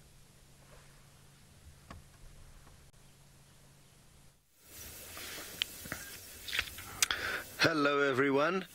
We have found not one, but two young male lions, and we're just giving them some time to see what they get up to. They could well be spending the rest of the day here, and there doesn't seem to be much prey in the area, sadly. They are quite hungry, and that's probably attributed to the fact that they are still learning the ropes of hunting. And like I said, there is not much prey in the area. Most of the herds are further north of where we are. We're on our way to a few more herds to kind of the south of where we are. So these guys are in the middle of where most of the wildebeest are on this side of the Mara. The one that's standing up is slightly bigger than the one who's lying down now. So maybe they're not brothers, maybe they are cousins from the same pride, born at a similar time. And they have come of the age where they need to start fending for themselves and start looking for a territory of their own. Possibly, I mean, you may find that they are still trying to touch base with mom or their mothers and aunts as much as they can in order to try and cash in on some easy meals. So no different to young children who are leaving home at around 18 who enjoy getting mom's home cooked food from time to time. Now, let me just move forward a little bit. I have noticed some potential prey skipping through the plains to the left of them where they're looking in the direction they're looking, but sadly the lions don't seem to be doing anything. So there go all the topi. And as you can see, nice long grass. It would have been a great spot to be able to lay an ambush. But it appears like these guys have possibly had a long night as it stands and are not interested in taking a stab at those topi. They're definitely looking in that direction, but I think they've missed the boat. Sounds like you guys have had an exciting morning. Taylor's had lots of good lion action on the hunt. Not too sure what Byron's been up to. I'm guessing still working on his bird list. And I wish him luck in getting to triple digits.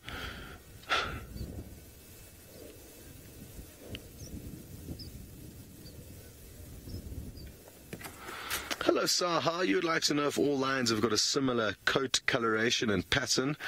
And as a general rule, yes. I mean, most lions do look very similar.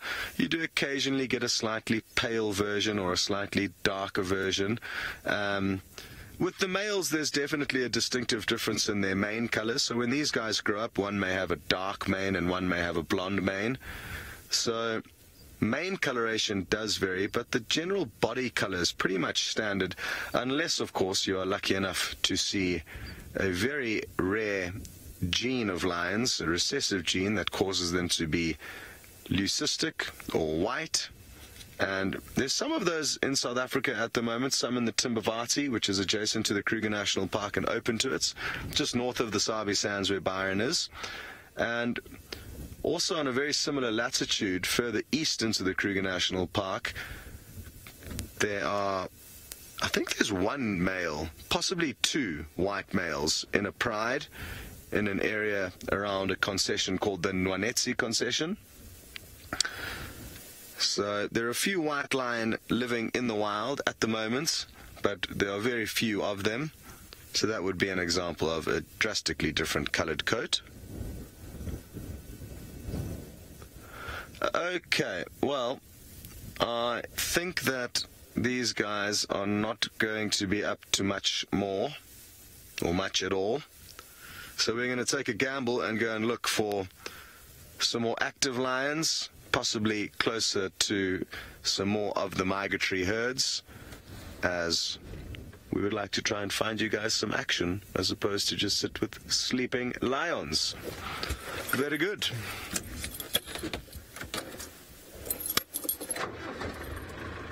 Ah, well, thankfully, while we go and look for a lioness, you won't have to go too far because Byron's got one with him right now.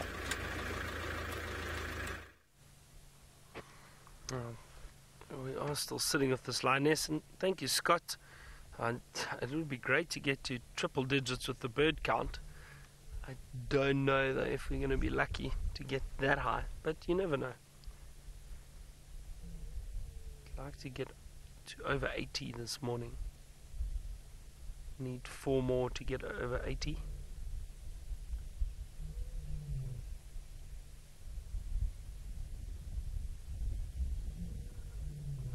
The sunset line is calling.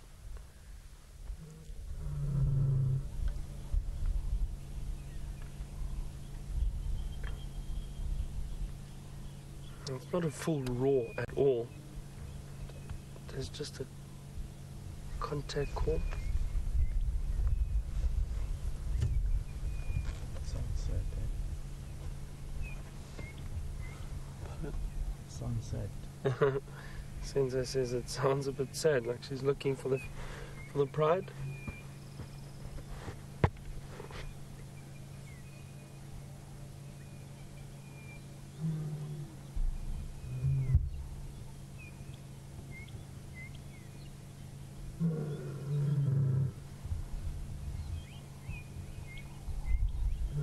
Just listening to the radio quickly.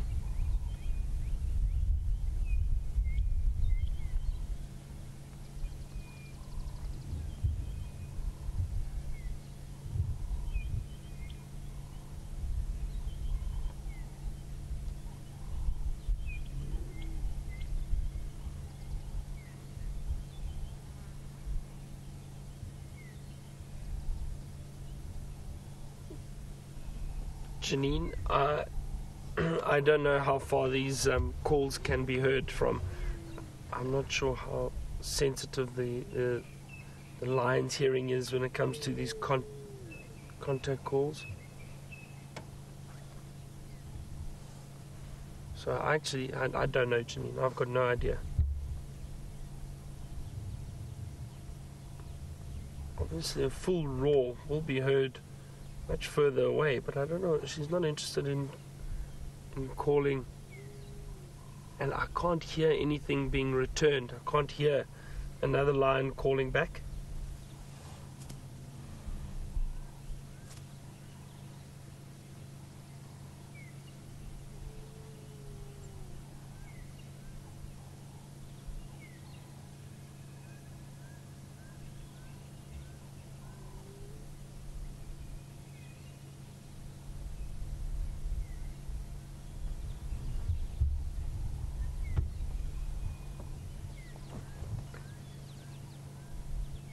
Uh, so just uh, what you were saying, I can't hear anything being returned. And Anna Marie, you were asking if they would contact call back. Indeed,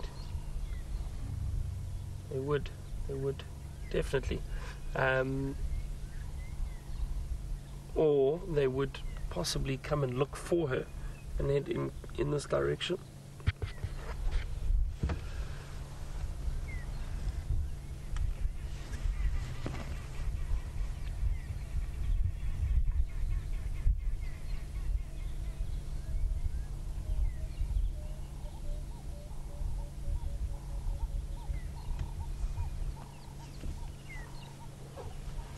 Starting to warm up quite nicely. We're sitting in the sun here.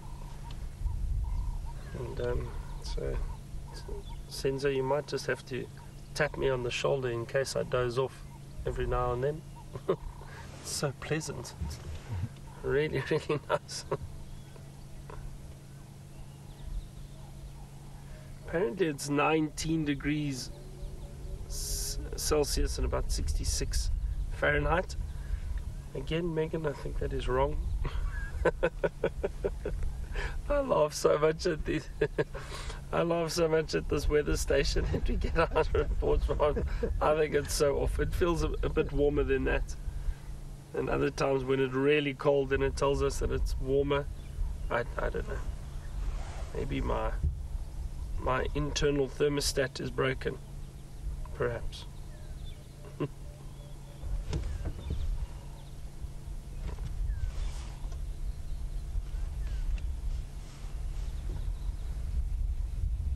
I really hope this lioness has luck in finding the pride. Um, it's funny. Part of me, part of me wishes that she finds the pride, and um, and then there's a part of me that wishes we were heading in the other direction towards the cubs. That would have been a really nice surprise for this morning. But um, Anyway, doesn't matter. So, so lovely to see a lioness. Follow her around. See now this. I mean, it could change. Uh, she she could continue moving around. She could go and and try and find the pride. She's been contact calling. No luck just yet. She could also stay, rest, and starting to warm up, as I said. So she might rest a bit and maybe move around a bit later, or wait for the pride to call, possibly. And I don't know. Don't know what's going to happen.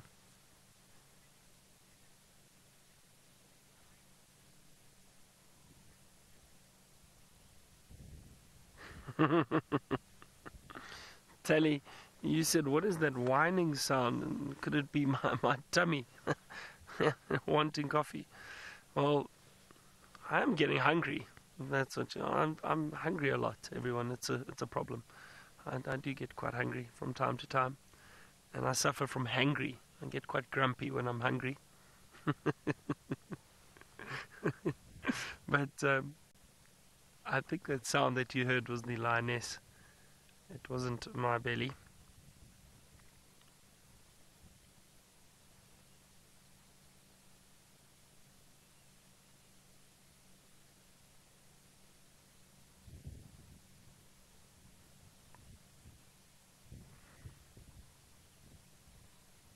No. I'm trying to, while I'm sitting here, I'm still scanning around for some birds that we haven't got on our list yet. I'm still sitting on 76. I can hear a orange-breasted bushshrike, and I've heard the orange-breasted bushshrike a number of times, but unfortunately, we just can't find it. I'm going to reposition quickly. You can stay with us. I'll just try get to the other side. Also, I think if I reposition, it'll help me so that I don't doze off.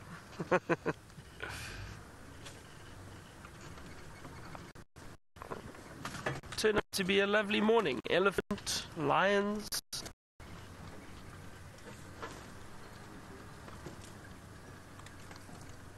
The kudu, yeah, kudu. We um the the the lone ranger of Djuma at the moment. Everyone else is either on leave or in the Mara.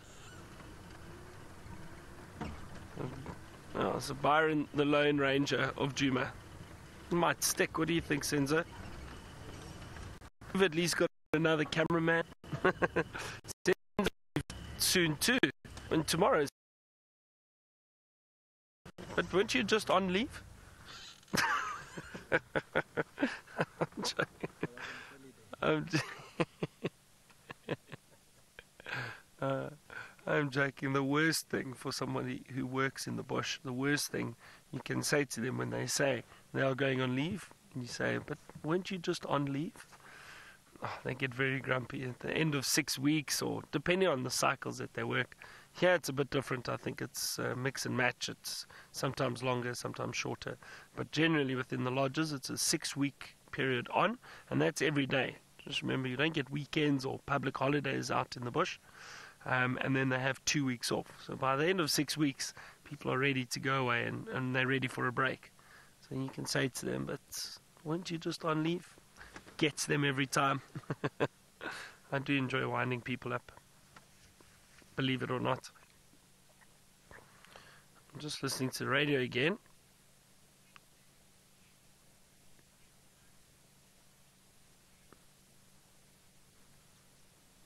Ben, this lioness is in good condition, and um, she got to feed the other day on uh, quite a bit of buffalo meat. So she's she's fed recently, but um, that was last time she fed was two days ago. So so pretty soon she'd start looking for some food again. She, she doesn't want to leave it too long.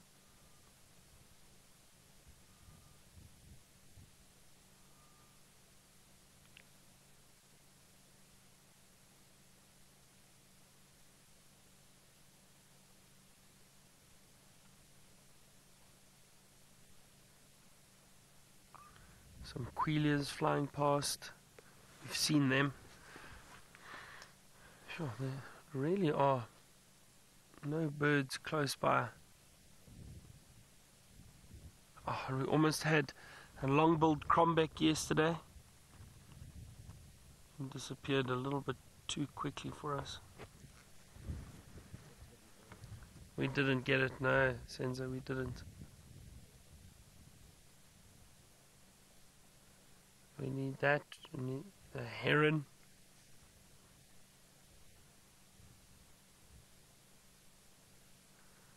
Ah, now Steph is also joining us this morning. And Steph, I think, is sitting in the control room and he's, I think, busy playing with the river cams and probably got some nice views. Let's go and have a look.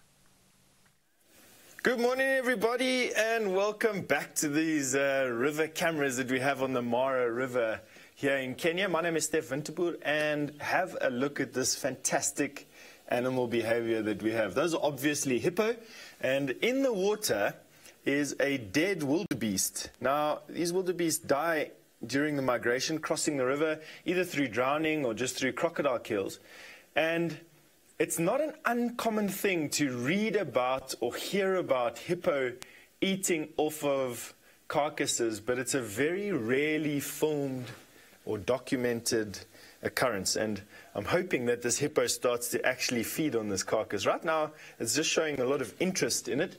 And because hippo are such gregarious animals, any interest that they show quite often attracts the interest of others. And you can definitely see that this hippo is taking more than just a cursory investigation at this, uh, at this carcass. It's difficult to say whether or not the carcass is, is open. And I'm wondering if we are going to see these hippo actually open the carcass.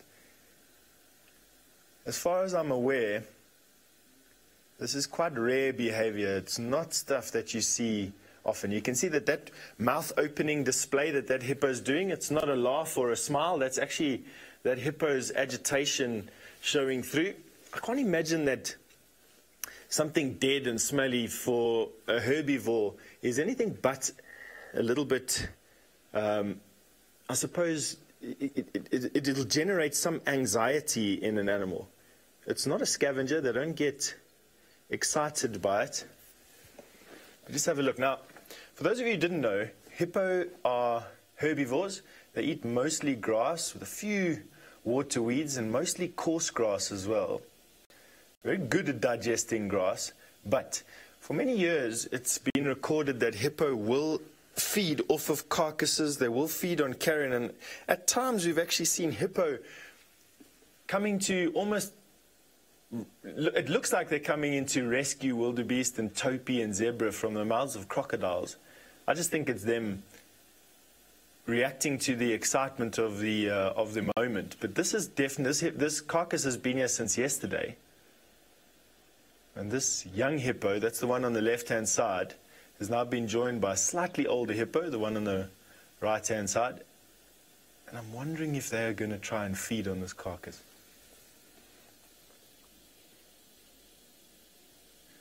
And going around to the other side. It's been uh, chewing on the horn there.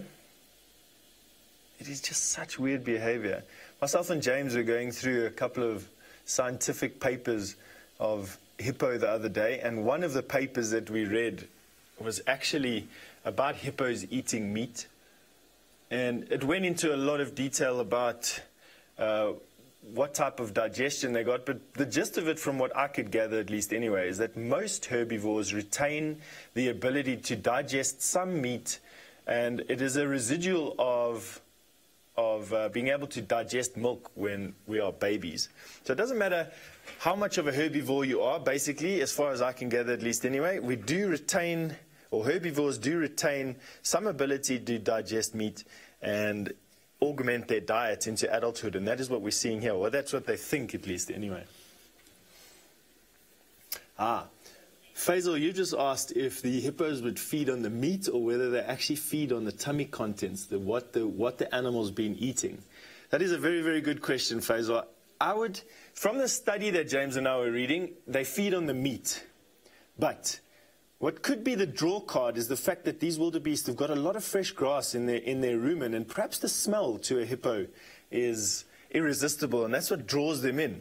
Um, it's tough to say, Faisal. You know, even in the, the, the, the, papers that we, or the paper that we were reading, it, it said that this behavior was, was recorded, observed, but never witnessed by anyone that was doing the study. And this is the first time I've ever seen this particular action with my own eyes. You can see that hippo there. Definitely haven't got the right teeth for breaking open a carcass. Um, hippos have got these pig-like incisors in their bottom jaws and in their top jaws, and then they've got these massively enlarged canines, all with slicing parts, but not designed to slice open carcasses. They'd almost have to wait for crocodiles or the carcass to become so rotten, I think, that it would break open on its own accord. However, I don't know how this wildebeest died, and I don't know what type of injuries it has uh, under the surface there. You can see the younger hippo now on the left-hand side making space for the slightly bigger, older hippo on the right. Still not moving off of the carcass and generating a lot of interest from hippos further downstream, as you can see the ones moving in. You know, right now they're not feeding on the carcass. But that definitely doesn't look like they want to have a game of catch with this wildebeest, that's for sure. You can see that one on the right hand side got his jaw right over the leg. Isn't this just the most amazing thing? Don't forget, this is interactive. Please feel free to ask me questions on Twitter. This, for me, is about as new as it is for you, to be quite honest with it. I, I, the only reason why I know a little bit more about this than you do at the moment is that I was very kindly sent a paper on hippos, and one of the papers that we were sent dealt with, uh, with hippo apparently eating meat, and it was just such an interesting topic that we, we were reading it to each other here the other day. Now look at what they're doing. Licking it with that massive tongue. Isn't this the most weird thing? Obviously, hippo use their lips to crop grass, and so their lips are actually quite strong. They'll use their tongue then to, to pull the grass into their mouth underneath their rows of molars. They've got a very well developed set of molars that is that starts in the back end of their mouth, basically where their, their, their mouth upturns. That's where the hippo's molars starts and extend to just below and perhaps a little bit be, uh, behind their ears. So a very long molar set many molars. I don't exactly know what the dental structure of. There we go. Look at those. You can see those peg-like teeth at the bottom of those enormous incisors,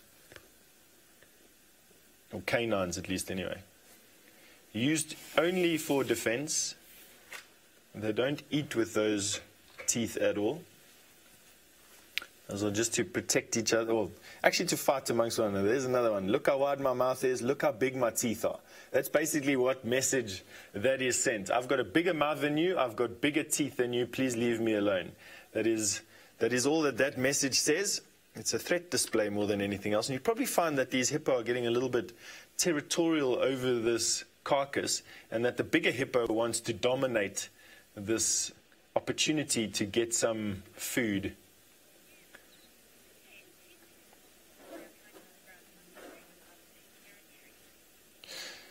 Now, Perry, you just asked if uh, if these hippo are trying to puzzle out how to get this carcass out of their territory, and that's also an interesting observation there, uh, Perry.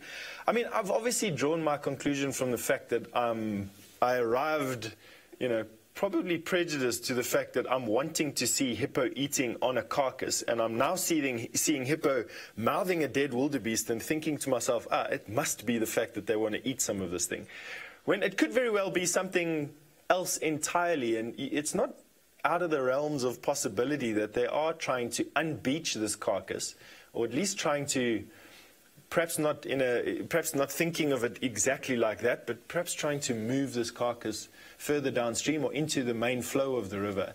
So right now, inconclusive there, Perry. I, you know, your your observation is probably as good as mine at this point. I have no, I have no other clues to give, to be honest. Kola, you've made the comment that it, you know, or asked the question, could it be that they're contaminating the water? I, um, I'm not quite sure exactly what you mean by contaminating the water. Is it the hippo trying to contaminate the water, or are they trying to trying to get get rid of this uh, putrid carcass that's contaminating their pools? Um, I'll answer both questions if I can with the same answer. Hippo are they are able to really deal with the most horrifying water conditions that you've ever imagined in your life. Massive amounts of nitrates in the water. Faze hippo hardly at all. And I can imagine that this flowing river is taking whatever you know, whatever rancid stuff is coming out of that wildebeest and is pushing it downstream. And I don't think that where these hippo live in this pool, it's having much of effect at all. So I don't think so. I don't think it's because they're wanting to move uh, uh, this carcass out of the way because it's making their swimming pool dirty. Um, I would imagine that it's just an investigation. That said, you know, hippo are very, very curious about things uh, outside of the water and anything new. They will quite often come and inspect things uh, quite, quite closely. Um, mainly due, mainly these dung posts that they have uh, adjacent to their paths that they walk. Hippo do not have any glands on their skin, any sebaceous glands or any, any glands of any sort that allow them to uh, leave a marker on, in their territory or where they're walking around. They only use dung. And for that reason, hippo are very curious about dung posts uh, that they spray. You can see this hippo center in the center just starting to flap its tail and deposit some dung. Now, they'll do that. The older the hippo, the more they'll do this on bushes and things like that. And, and almost every hippo that walks down that path will stop and actually investigate those posts quite intimately. And I, I think that it is, is, I think that it, it's their natural curiosity for something that's different that possibly led to this investigation of this carcass. You can see this one is now moved off completely.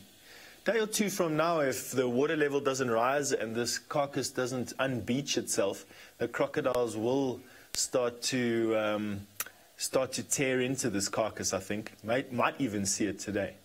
But anyway, it looks like this uh, hippo is now moved off, and it doesn't look like we're going to get any feeding on this carcass off at this time, at least anyway. We're going to be manning these cameras, obviously, for the rest of the day, and so if anything happens that is exciting, we'll let you know either through the show or after the show through a Facebook Live notification. Anyway, we're going to send you off to Taylor, who's sitting with some buffalo.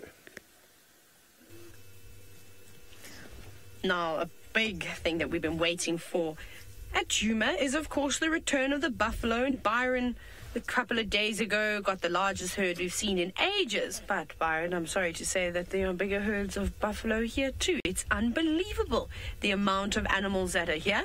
And I'm very excited because, of course, there's even a couple of yellow-billed oxpeckers that are uh, jumping from buffalo to buffalo. We have to wait for that. Oh, I can just see it peeking over uh, sort of where its wither would be. There it is. How great is that? Now, because the buffalo hadn't returned at Djuma, Oh, we've obviously been waiting and very patiently for them to come back. Uh, and this was one of the exciting birds that we would have had an opportunity to see. They always hang around at the ends of the herds, but they're all around here. It's so cool. It's so nice to see them. I feel like even the buffalo are bigger here.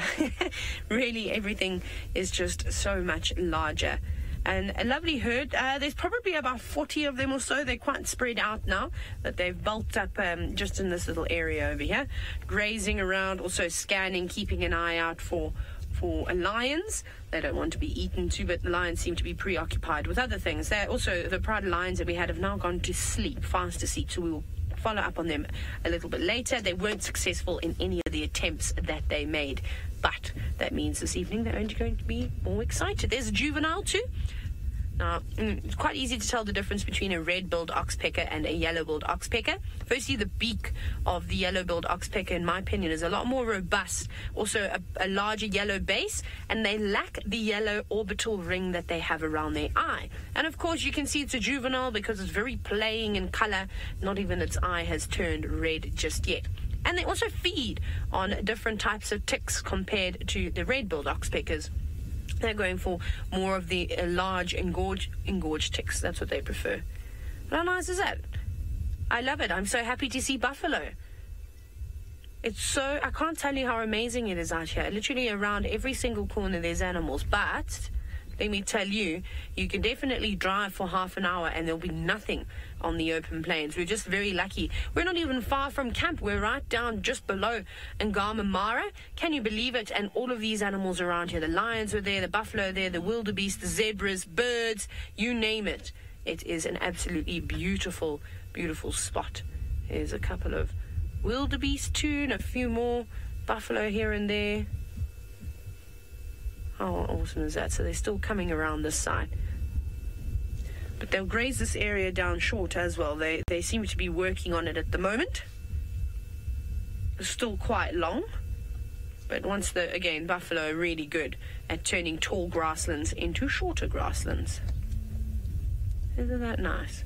So there we go, Byron. Not only are you doing birding in Djuma, I'm finally having the opportunity to do a little bit my side. Seen some interesting birds. I haven't even had a chance just yet to go through them, but I suspect when we do find a pride this afternoon, a pride of lions, and we settle with them, if they're not getting up to too much, I will be pulling out my bird book and going through it and trying to figure out who on earth I've been seeing as we are driving around. But it could be quite exciting a little bit later today with the Ngama Pride.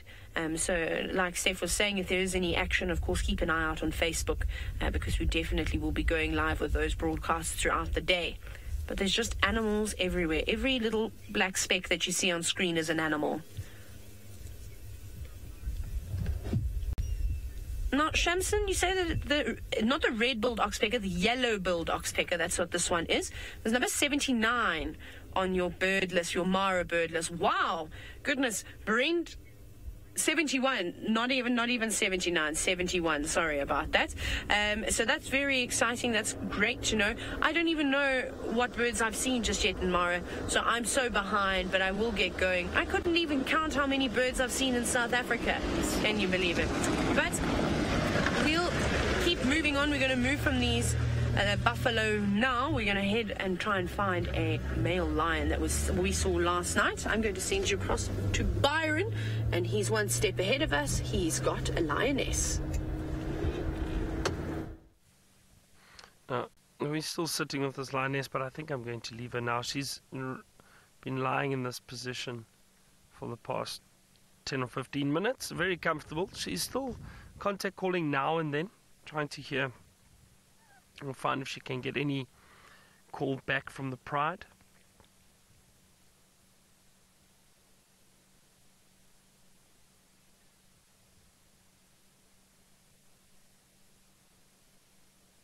So I'm hoping she does decide, or she does find find the lions.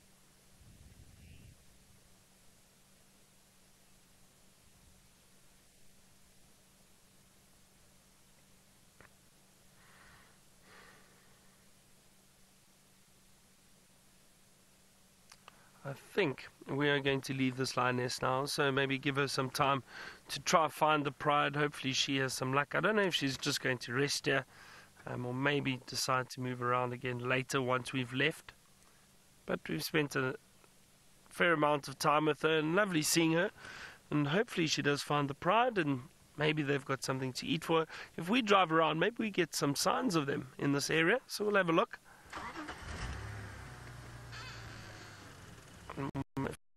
This morning, maybe this afternoon, we'll come back and have a good look around. Because she must know something that we don't. These lions must be in this area somewhere.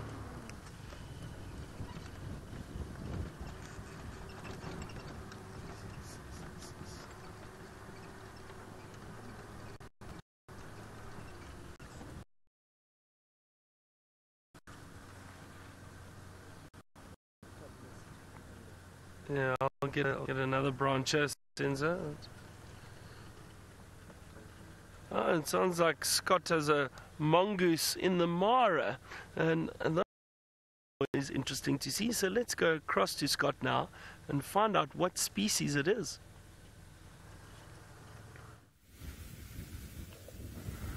Hello, everyone, and we have a wonderful little family, or quite large family actually, of banded mongoose. I've usually counted between kind of 20 and 30 in each of the family groups that we've seen. Interestingly, as we arrived on the scene, we kind of got the impression that they could have been scavenging some titbits off this old rancid gnu carcass. I think there are still one or two just close to the carcass there, but they may be just. But Oof, it stinks. The wind is blowing straight towards us now and getting some very pungent, unpleasant aromas from that carcass. What's interesting is that they're not the only interesting or abnormal animals we've seen snacking on carcasses this morning. Some of you guys have seen the hippo nibbling on a carcass in the Mara River, which is not too far from here, I believe. With Steph, there's a sacred ibis. He's also lurking around these guys. Both quite interesting species to see around a carcass.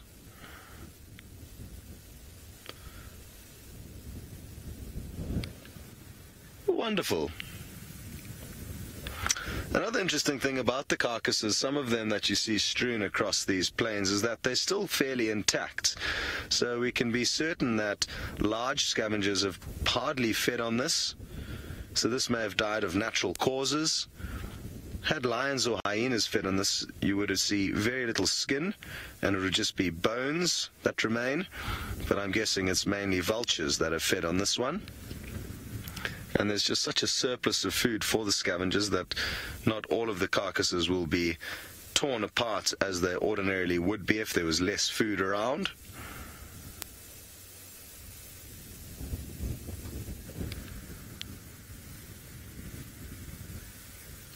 And off they go.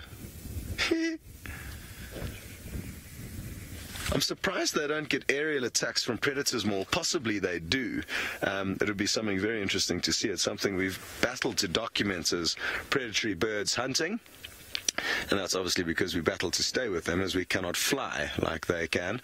But it is something that I foresee us possibly being able to document in the coming weeks and months because when these mongooses run through the open clearings as they are now, they've got very little cover or escape routes. So large predatory birds like martial eagles, I'm sure from time to time will snack on them.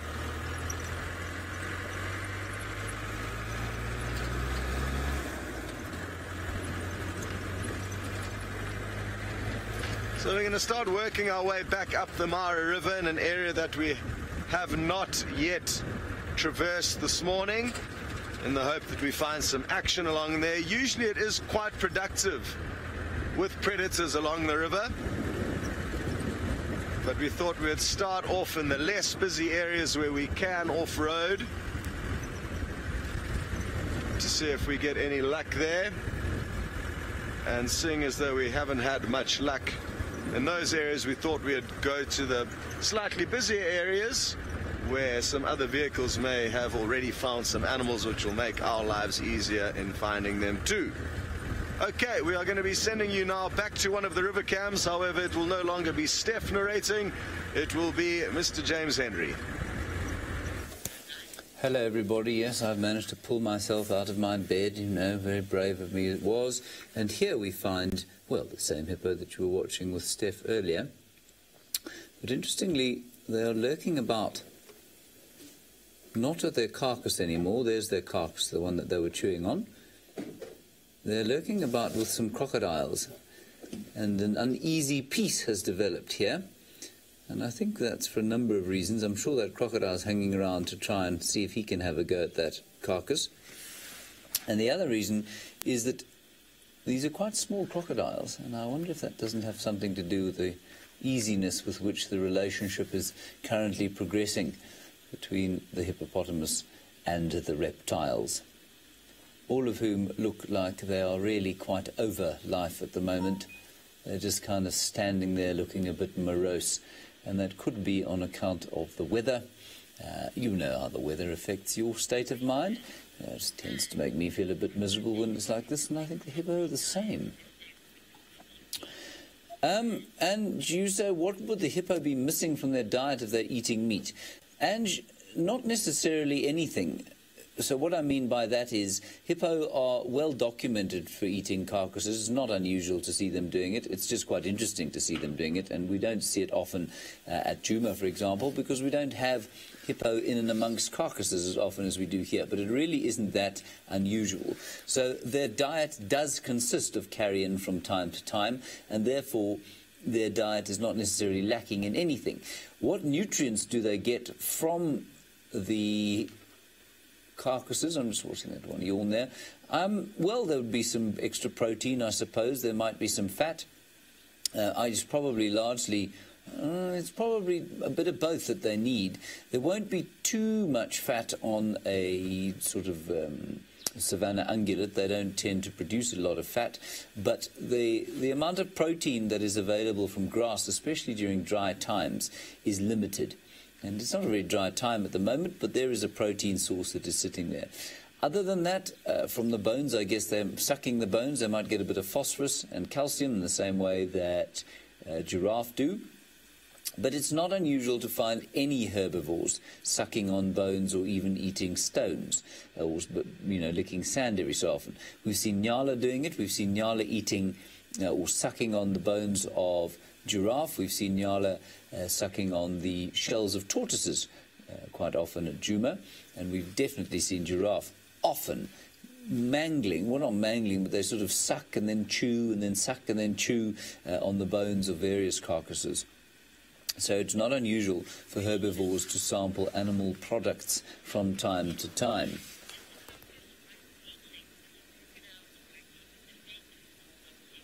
LMI, you say, is the, is the carcass worth eating even if the crocodiles won't defend it? I'm not really sure what your question means. Uh, I, you know, what's going on here is that there is so much food in the river that the crocodiles uh, are quite full. They're also, it's quite chilly outside, so they're going to struggle to move around because they're reptiles. The hippos, of course, rather like you and I, are warm-blooded, which means that they can move around. It doesn't matter how cold it is. Um, and so I think you'll find that the lack of crocodile activity on that particular carcass is a combination of both things. But there are carcasses strewn about this river absolutely from top, at least from source to uh, basically from source to where it, it, ends, mouth, and I guess that's what I'm going for, uh, source to mouth. And, you know, there'll be crocodiles eating those things the whole way along. Chuck, you says it's nice to see hippos out of the water. It is quite fun, isn't it? It's much, much more fun to see them sitting out of the water where they are now rather than happening upon them in the bush while you're on a walk. That I find to be one of the most terrifying things because you know that they don't like seeing people on foot and so very, very careful, especially on a day like this. If you're taking a walk with guests, you've got to be super careful on a day like today because you could easily find hippos still grazing coming back from a night out. See the oxpeckers enjoying some time on the hippo. But you see how they're just standing there, kind of resting their mouths on the sand and looking a bit confused and dazed by life. Let's go out a bit.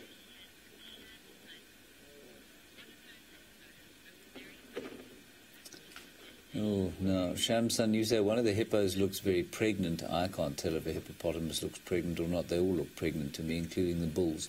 So I really couldn't tell. Maybe you're talking about this one.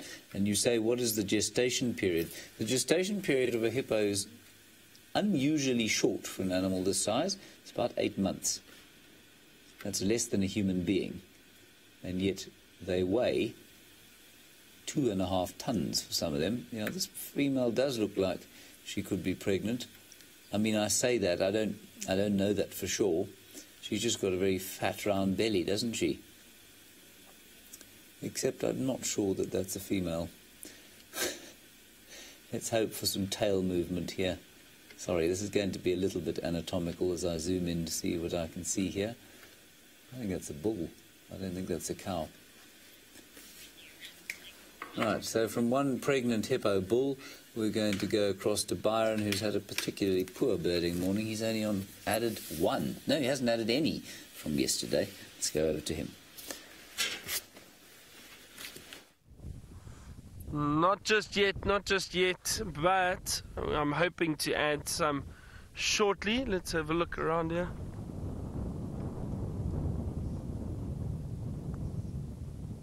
Oxpecker, that doesn't count. We've seen oxpeckers. Uh,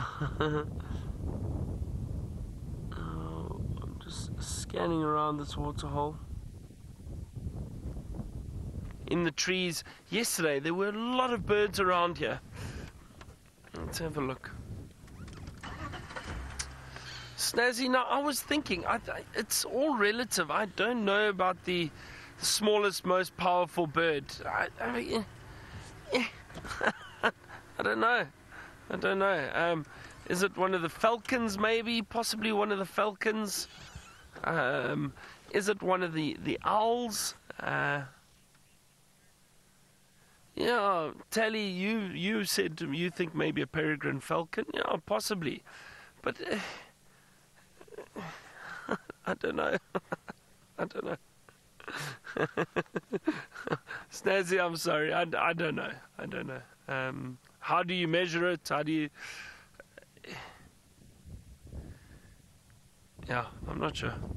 You've stumped me on that one. I'm just going to scan these trees quickly see maybe we can get a chin spot batis or something bouncing around these trees. There's a bit of a breeze blowing at the moment, and I see absolutely no birds.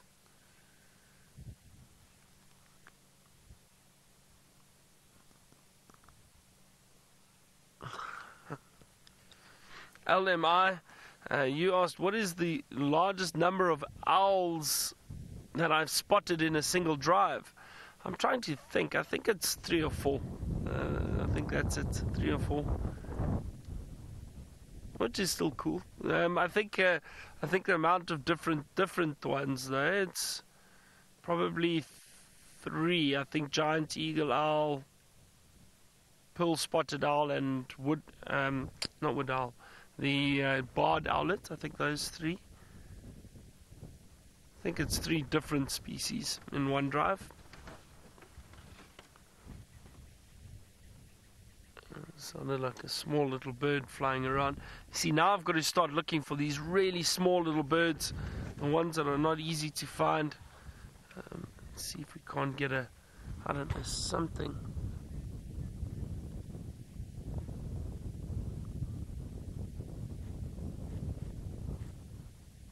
Now, Rick, you asked if we get peregrine falcons here. Now, I've never seen in the sands. Um, I'm just trying to look for their distribution. I've never seen here though. Oh, they say they come through. They come through from time to time, but I've never, I've never seen it here.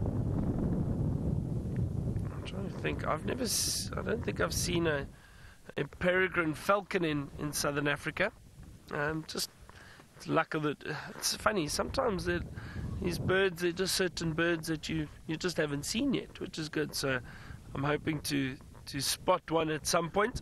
But I've seen some of the other falcons, the um, Amur falcon, uh, the uh, lanner, uh, you know, the Lanner falcon I've seen. I saw those in the Kalahari. Those were nice. Um, pygmy falcon. That's probably a bird, snazzy. That's suppose a falcon, that the smallest and most powerful. Pygmy falcon. Let me show you a picture of one quickly. Uh, that little bird over there. Can you see that, Senzo? Is that okay?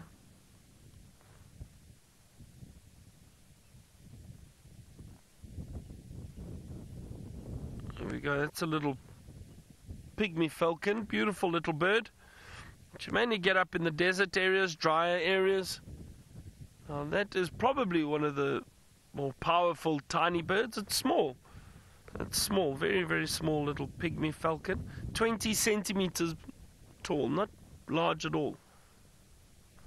Um, what else have I, what other falcons have I seen? Um, red-necked falcon also saw in the in the Kalahari. Um, so those those birds are always nice to see. All right, well, we're going to continue our search for birds, and our friend Scott is still in the Mara with that beautiful male lion that he found earlier.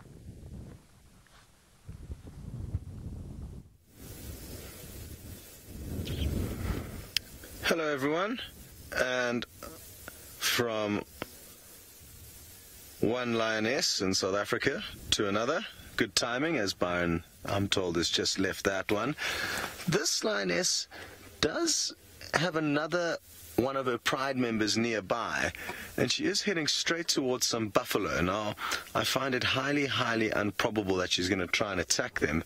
If anything, if they catch wind of her, they may chase her which will be quite humorous. Always interesting to see the hunter becoming the hunted. And Byron obviously just misheard. He thought we had a male lion. We don't. We've got two lioness, one of which is kind of further to the left of where this one is. At least that's where we last saw her. And again, I just find it. Oh, the first buffalo seen her. If you just zoom out a bit, there's a buffalo approaching her. Look at that. Isn't that fascinating? And it could well chase her. Here it goes. I'm not sure if you can hear the tourists cheering for joy behind me. It's quite funny. they were quite happy that the buffalo chased that lioness away. And it's simply too dangerous, too large a prey for two ladies to be taking down, unless, of course, they were desperate. These big buffalo bulls. Oh, here comes another buffalo bull coming charging in. and I'm sure this lioness is just going to try and create as much space between herself and them as possible. And she's probably heading up into the little rocky outcrops and thickets that you can see in the distance there. They often like to sleep out there during the day, I'm told. VM spent quite a bit of time in this area with these lion. He says there's often a third lioness, so we're not sure where she could be. As I said, we've only seen two. And also Scar, a very well-known big male lion, also also often lingers in this area. It's the only kind of area that I've seen him in. Ooh. Let's just get one or two more views, see what she's going to end up doing. We've just come from that direction, and there's sadly no smaller bite-sized snacks for her. So not too much in the way of any possible food that we saw. Of course, there could have been something hiding behind a bush that I haven't noticed. actually, speaking of which, I think there is an impala up on that ridge there. Let me just reverse a little bit. Just to the left of the tree, VM, I can see something kind of orange colored. Oh, looks like the lioness got chased again. We're clearly a little bit lower than where she is, so we can't see her. That was an impala though, AVM? No, still not. Oh. Hello, Dory. You'd like to know if I think this lioness has cubs in the area? Um, she could, but I am not aware of the lioness here having any cubs. And I certainly didn't see any distinctive baggy mammary glands dangling below her belly and or suckle marks. So I do not think so. Let's try and sneak forward, get a few more views. So what I thought was an impala was a termite mound.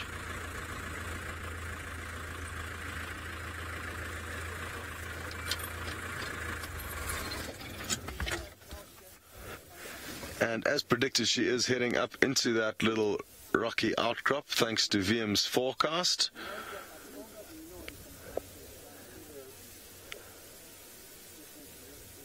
Who knows how much longer these buffalo will feel it necessary to keep following her. They will probably lose interest fairly soon as soon as she heads into those thickets.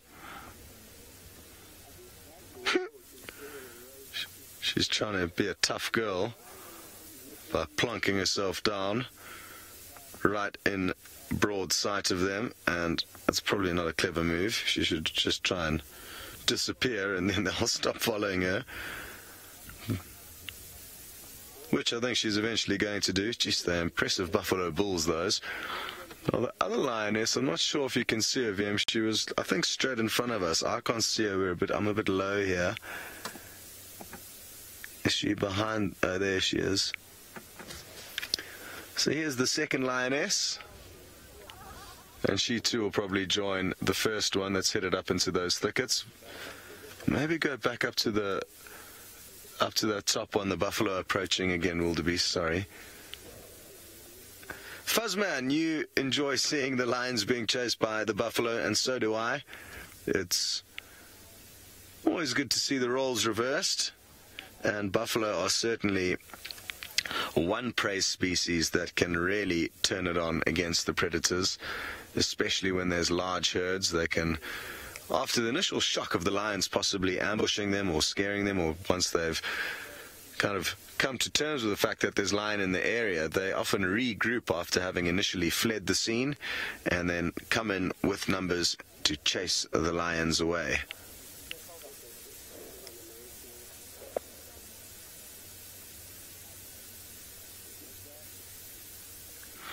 Very, very good.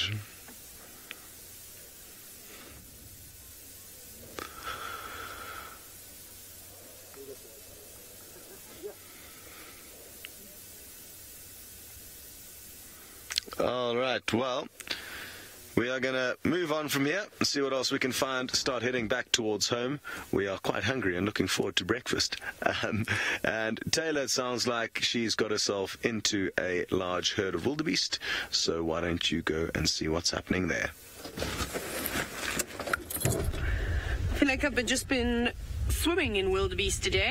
I haven't got myself out of a herd of wildebeest. It's been fairly pleasant, but we're bumbling along now. We just came to check on the spot where I saw uh, the male lion. Manu also saw him yesterday. Um, quite a nice looking fella along this main stretch of road, but unfortunately he's moved off. I don't know where he's gone to. And then we also got wind that apparently there's another pride of lions on the riverine thicket somewhere, the forest uh, uh, down to the east of us. Uh, some some guests saw it from a hot air balloon. How nice is that? And um, so we probably will go follow up on that a little bit later. But we're just sitting here, we're admiring the scenery. Again, just checking out for those single lions that have been seen around this area. Obviously, that lioness that James had, we're trying to follow up on her. No sign of her just yet. Um, so, so it's not too much happening just yet. It's the wildebeest are making so much noise. But I have something to show you. Manu, I have to show the viewers our new character. They're going to be so excited. Who's ready to meet Mo? I haven't showed you yet. This is Mo Reese. This is my gift from, well, most of the team up here in in Kenya, which was really cool, Mara team, so thank you very much. Mo Reese now comes on safari with me every single day. It's an elephant. Or your scarf is over your tusk. So I also just want to take this moment because I haven't said thank you. Thank you everybody for all the wishes. It's been a very busy last few days, but it was wonderful and it sounds like I'm getting my suitcase back as well. Woo! Win all around. I'm so excited. But yes, Maurice, elephants, very cool. This might be the closest elephant that we get to. but yeah, so it's, it's been really, really lovely out here. I'm definitely settling in. It's starting to feel just like a home. Oh my goodness. And it seems as though Byron is sticking to his old uh, sort of routine. He's got his flask out. The, he's having a cup of coffee. Let's go across to him and see how many birds he's now got on his list. I am indeed having my coffee. Uh, now let's have a look. Uh, a bunch of birds just took off, and there was a bit of a bird party. We've got rattling cisticolas. Um, let's have a look here.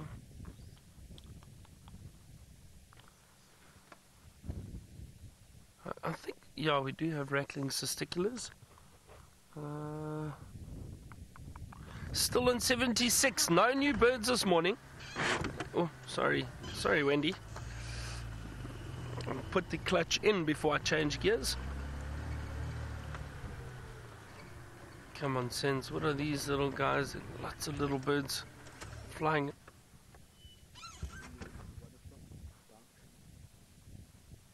This little bird here. What is that? Uh...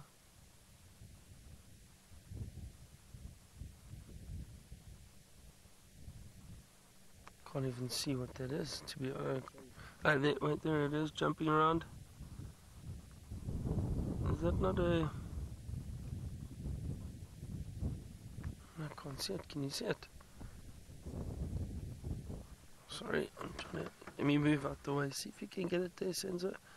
I can't see it. There was a little bird. I think it was maybe just a cisticola that, that jumped around there. I think that's what it was, Senzo.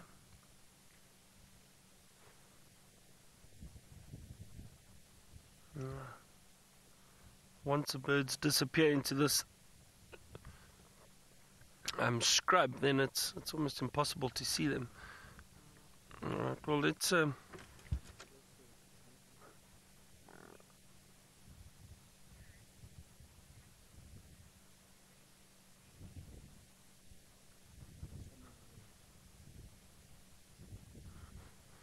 Oh, it's okay, since I think it was a cisticola. Jeffrey, um, you were asking if uh, if a shrike can be considered a bird of prey. Um, no, I don't. I don't think so. I don't think so. And the reason I say that is because the the birds of prey generally have big talons and they hunt regularly. But the birds, oh look, there's a herd of wildebeest. It's our own migration. There they go. Know, running. don't know what they're doing. They're just chasing one another. So Jeffrey, as I was saying, the, the shrikes though they they hunt insects, so they're insectivores, mainly insectivores. Yeah, they will possibly um, catch other other um, oh, sometimes little rodents and lizards and that, but but I don't think they're considered a bird of prey. Bird of prey eagles, falcons.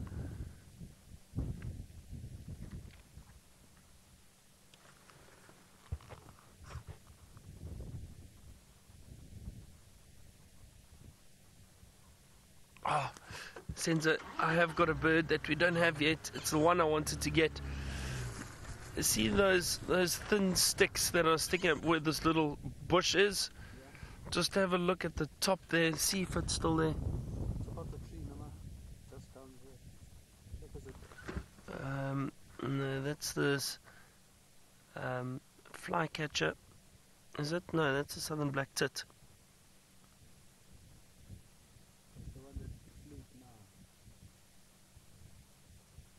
Hang on, no, no, no. Wait, uh, let me see. Oh.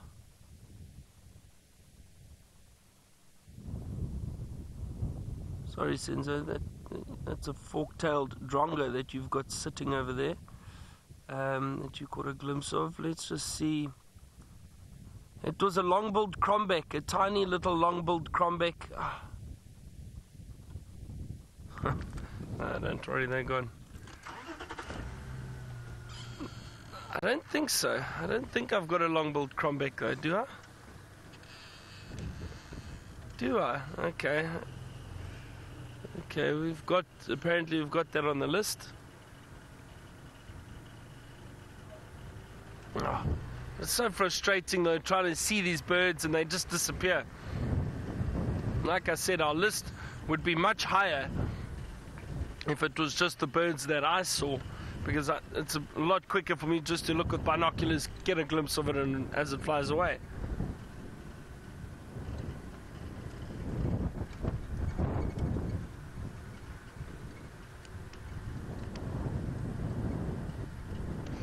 Sorry, I just want to find out something quickly. Mike, Mike for Byron. Uh, Mike, did you have any luck with that lioness?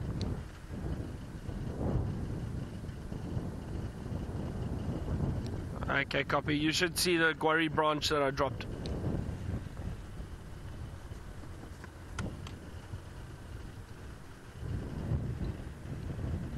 I just want to find out if that lioness is still in that area. So I told someone where to go and have a look. But you see, I'm so kind. I put a branch in the road so it's easy for them to then know where we had her last. Huh? Eh, far too kind, I think. Should maybe make some of these up. Anyway.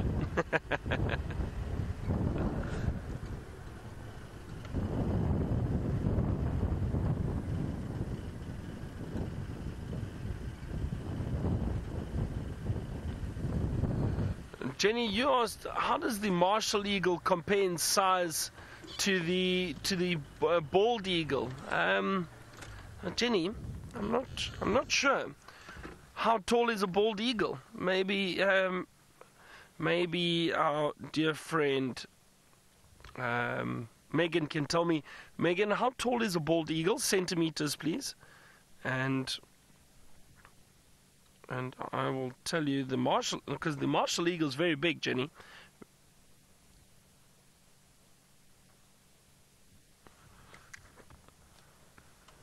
Um, she was fine when I was following her. I think it's the lioness from the Nkuhuma Pride that has got the new cubs at the moment.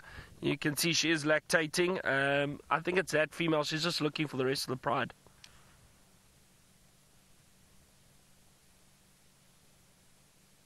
Sorry, I'm.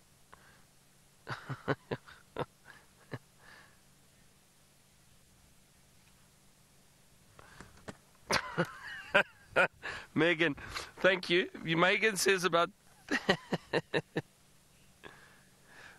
Megan said about 35 inches. So I've got no idea what that means. But she then said about 88 centimeters.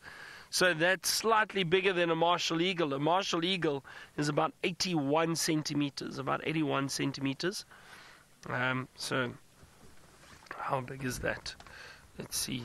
Senzo, uh, if I was here, sorry, my nose is itchy. 30, about 30, that's 30, yeah? 60, uh, about, about there, I would say. If this eagle was sitting next to me, it's massive. It's a big eagle. And a bald eagle, a bit bigger. A bit bigger than that. massive. Those are huge birds of prey. Alright, so that lioness um, was still there. So I think we, we made the right call by leaving her. Um, but hopefully she finds the rest of the pride at some point. Now let's head back across to Scott and find out how his journey back towards camp is going.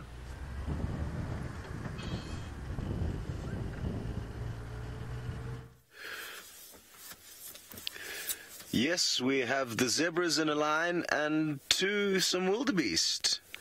I'm not sure if that was the correct English, and to some wildebeest, forgive me. But an awesome, awesome scene. And look at all those wildebeest dotted in the background beyond them. Absolutely fascinating, the numbers of these animals.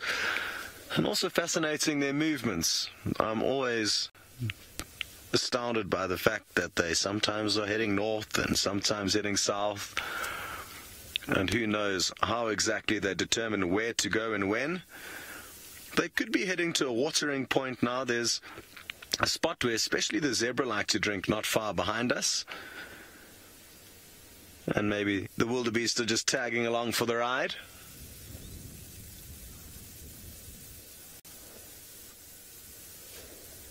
Beautiful.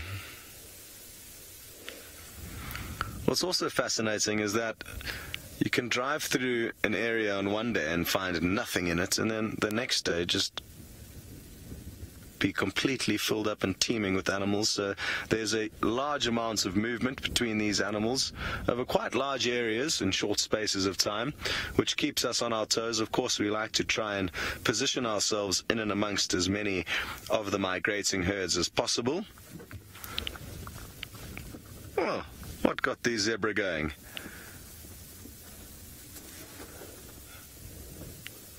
I'm looking around. I'm not seeing anything that would warrant them being frightened of. So possibly it's just some joyful,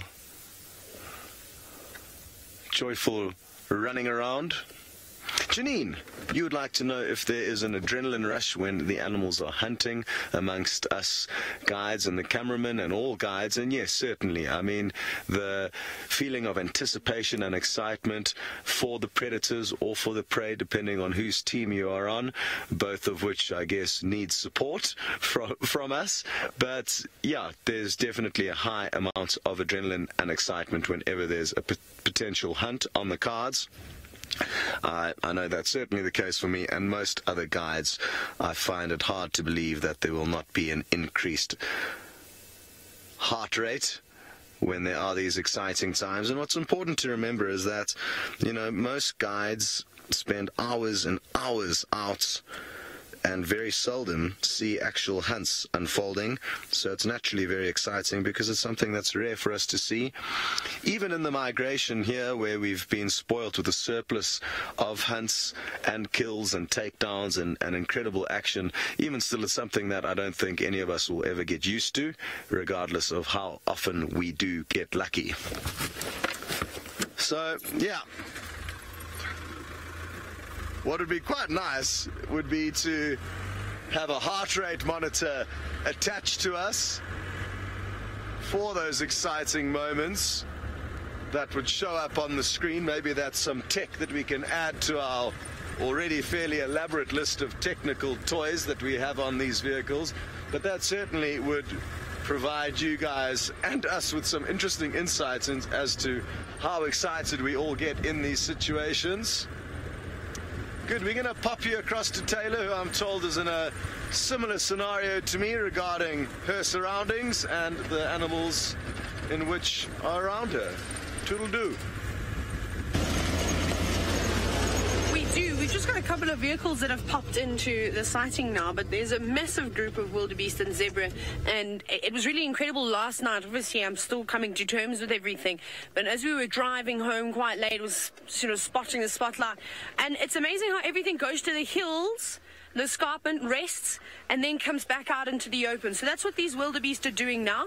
And the zebra is they've rested, they're waking up, and now they're moving out, moving out into the open where they will graze. They'll probably go and drink some water at some point too. We've even got a zebra having a roll. Wasn't that nice? not too dusty over there. We know how important it is for these animals to roll around in dust. Uh, they can't just apply a a medicine to get rid of the ticks, of course. So by rolling in the dust, it helps suffocate all those parasites. Aren't they awesome? I, really, I'm, I'm in so much awe at the moment. It's, it really is, it's an overwhelming experience being here and seeing so many animals. I've never seen this many animals before. There definitely weren't this many in Zambia. But how great is this? Let's go up a little bit further forward. I just want to reposition us just slightly and get another view. See now, again, the momentum is gaining.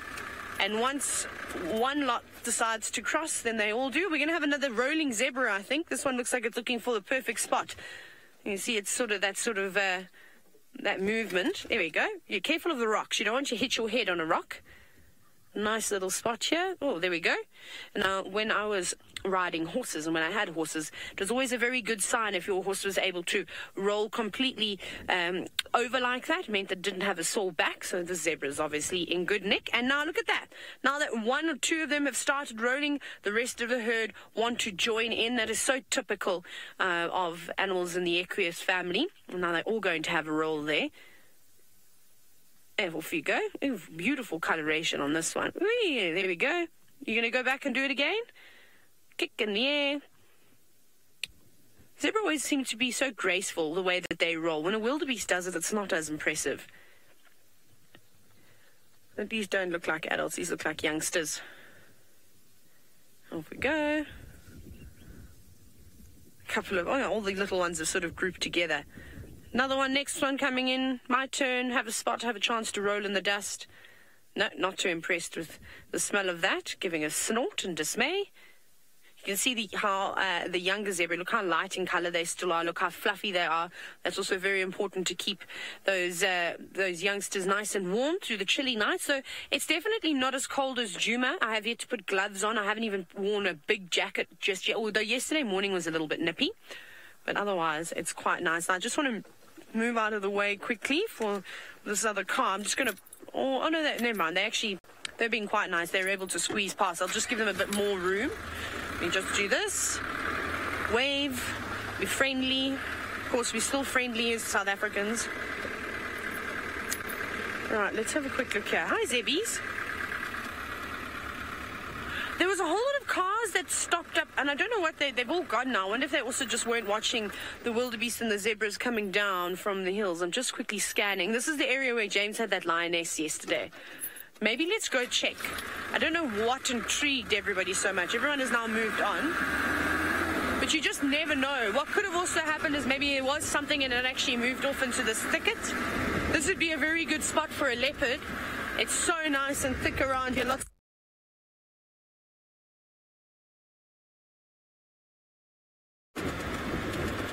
We'll eventually start talking about all the nice vegetation as we go about as well. Lots of matumi trees by the looks of it. I think they, they look like matumi trees. No, I don't see any lions. No, maybe it was just another impressive sort of crossing of the wildebeest coming uh, through and uh, heading out into the open plains. But I'm going to send you back across to Byron now. He's just bumbling along in Djuma, but you never know what you'll see next. Well, I went past the hyena den just to have a look, but no sign of any activity there. I, I haven't had any luck with that hyena den since I've been back. I haven't seen any hyena cubs or adults there. But we'll, we'll, keep checking every now and then. But yeah, no sign of anything there at the moment.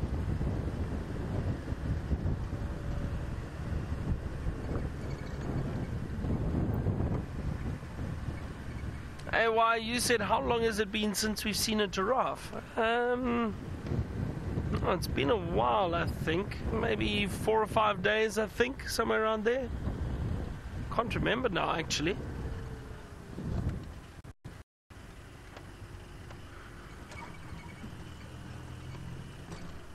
starting to warm up quite nicely now.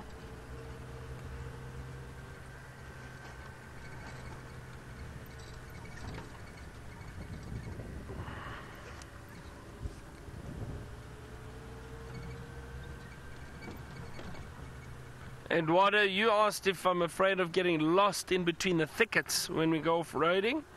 Uh, no, no. Uh, these this area it's it's quite easy to navigate through, especially once you get used to used to an area. Um, but uh, like this area, it's, it's it's fairly small, so chances. I mean, no, it's no. Eduardo, I don't think so. I don't think you could get lost. Um, like I said, obviously spending more time in the bush and more experience it does help. But um, but yeah, the the road network and that. You just have to pick a direction and head that way, and eventually you would hit the road. It's um, it's very difficult to get lost. Yeah. Maybe if you knew. We've got those. Those are the red-breasted swallows. We've seen them.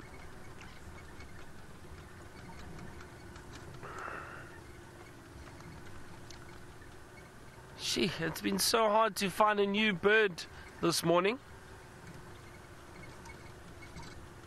See, I told you, once we start hitting these high 70s and 80s, it's going to be very difficult to get new species. I was hoping to get to 80 this morning, but let's sit here for a second. Let's just see if something flies past. I can hear rattling cisticolas. I saw some queleas fly past. We still need one or two woodpeckers. Um, we've got the bearded woodpecker. It would be nice to see the golden tailed and the cardinal. Um, I, I hear the golden tailed often, but just haven't been able to see one.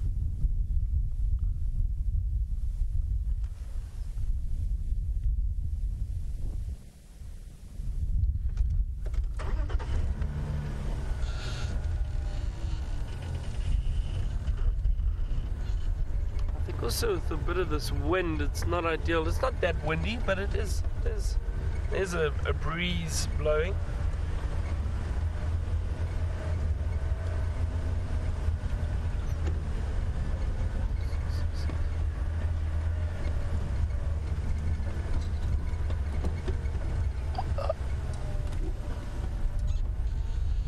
There's a woodpecker holding. It's, it's, a, it's just through that little gap there. Can you see it? Let's see. Which one's that? Yeah, it looked like a small one. Oh dear. Looks like a youngster. Can you see it there? Yeah. Oh, but which young one? Sometimes these woodpeckers give me more grey hairs, more grey hairs than anything else. Now, is that not a? Where did it go? I'm trying to use my binoculars. It's a bit easier than to to see. But please send screenshots. Where did it go now? Still dancing around there. Senzo, can you still see it? Yeah, there. Oh, it's directly behind a branch now. You see, but it is a young one. It doesn't really have that red. Can't see the red on the head. Mm. Can hear a squirrel alarm calling in the distance. Um, I think this might be a um, a little cardinal, a young cardinal. I think so, everyone, which is what I thought initially. Yep, that's a young cardinal woodpecker. That is great. Speaking about it, about seeing these um, these little birds, I'll show you why I say that.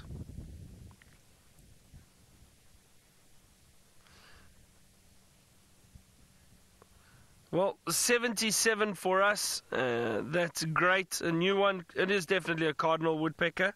A young card or female, female cardinal woodpecker, young, youngish female. Um, anyway, let's head across to James. I'm sure he is as excited as I am about the new bird to our list, and he is watching the river. To Dusty Crossing. Come on, Rebecca. Hurry up. Let's go to Dusty Crossing. Well done. I'm going to get punched in the face, everybody, after this drive. Apparently not in the face, but in the throat.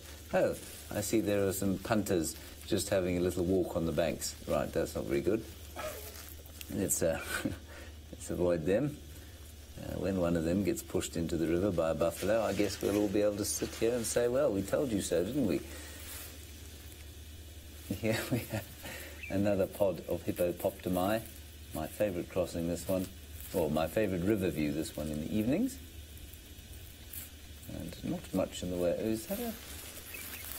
Just trying to see if we're looking at a carcass there. I don't think we are. No, we aren't. But there are so many carcasses, and let's go. We can go back to cul-de-sac now, if you like. Yes, we can, Rebecca. There we go. Don't get ornery with me on the telephone. Not the telephone. What's this thing you're talking to me on? The radio. Yes, the radio. That's it. Oh, we've got a bird walking on a hippopotamus. Let's have a look what it is. It is a sandpiper walking on a hippo. that is very cool. That looks like a common sandpiper to me. I wonder what it thinks it's going to find there. Look at that. It's picking little bits and pieces out of the hippo's skin. That's fantastic. Let's see if he pops out the other side there. The hippo don't seem to mind in the slightest. How wonderful. All right, well, let's go out from there. I've never seen that before. And you certainly can learn all sorts of new things from watching the rivers on a daily basis. And now, can we get back to Dusty Crossing, please, Rebecca? There's action happening, huge action there. There's a crocodile coming out of the river. Lucky those people aren't standing this side. That is an enormously, enormously fat reptile. Look at him lurking there behind the bank, waiting for something to step on him, thinking that he was just a stepping stone. He does. Rebecca says he looks like a balloon with spikes on it. I think that that is quite true. He does look a bit ballooning. And he seems to realize that we're looking at him from the camera. You see, he's hidden himself behind this little tuft of grass. Unfortunately, his brain is so small that he's unable to compute the fact that because he can't see us, we can't see him. He's a little bit like a two-year-old that hides its eyes and then thinks it cannot be seen. Anyway, that's all right. He doesn't need to know how to hide himself too well from cameras. Let's just see if there's anything else coming down towards the river.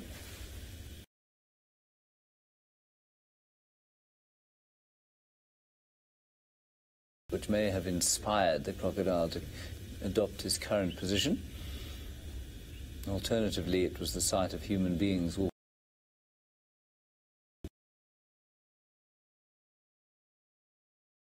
Freeze. Oh dear. Oh dear. Froze. No, we're okay. So apparently, because I was sassy, according to Rebecca, that it froze. Rebecca, of course, clearly doesn't understand technology if she thinks that my sass is going to freeze the internet.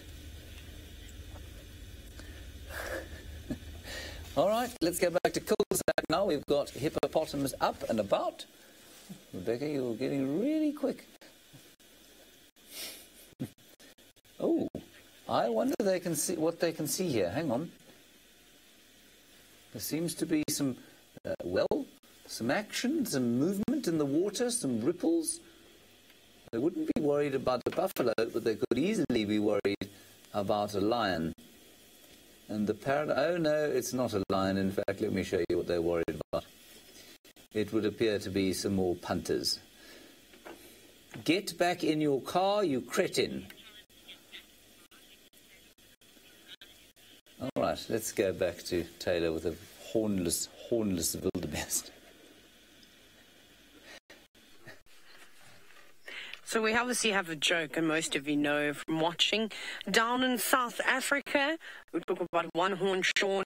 Uh, I've told you the story about the buffalo, but then one horn Sean turned into an impala ram that hung around on Philemon's cut line quite a bit. We saw him for quite a few days, of, of most weeks, in fact. However, this uh, wildebeest is sporting a new trend and has gone, horns are so 2016 and has got none. Now, it, it did look like a bull. I had a quick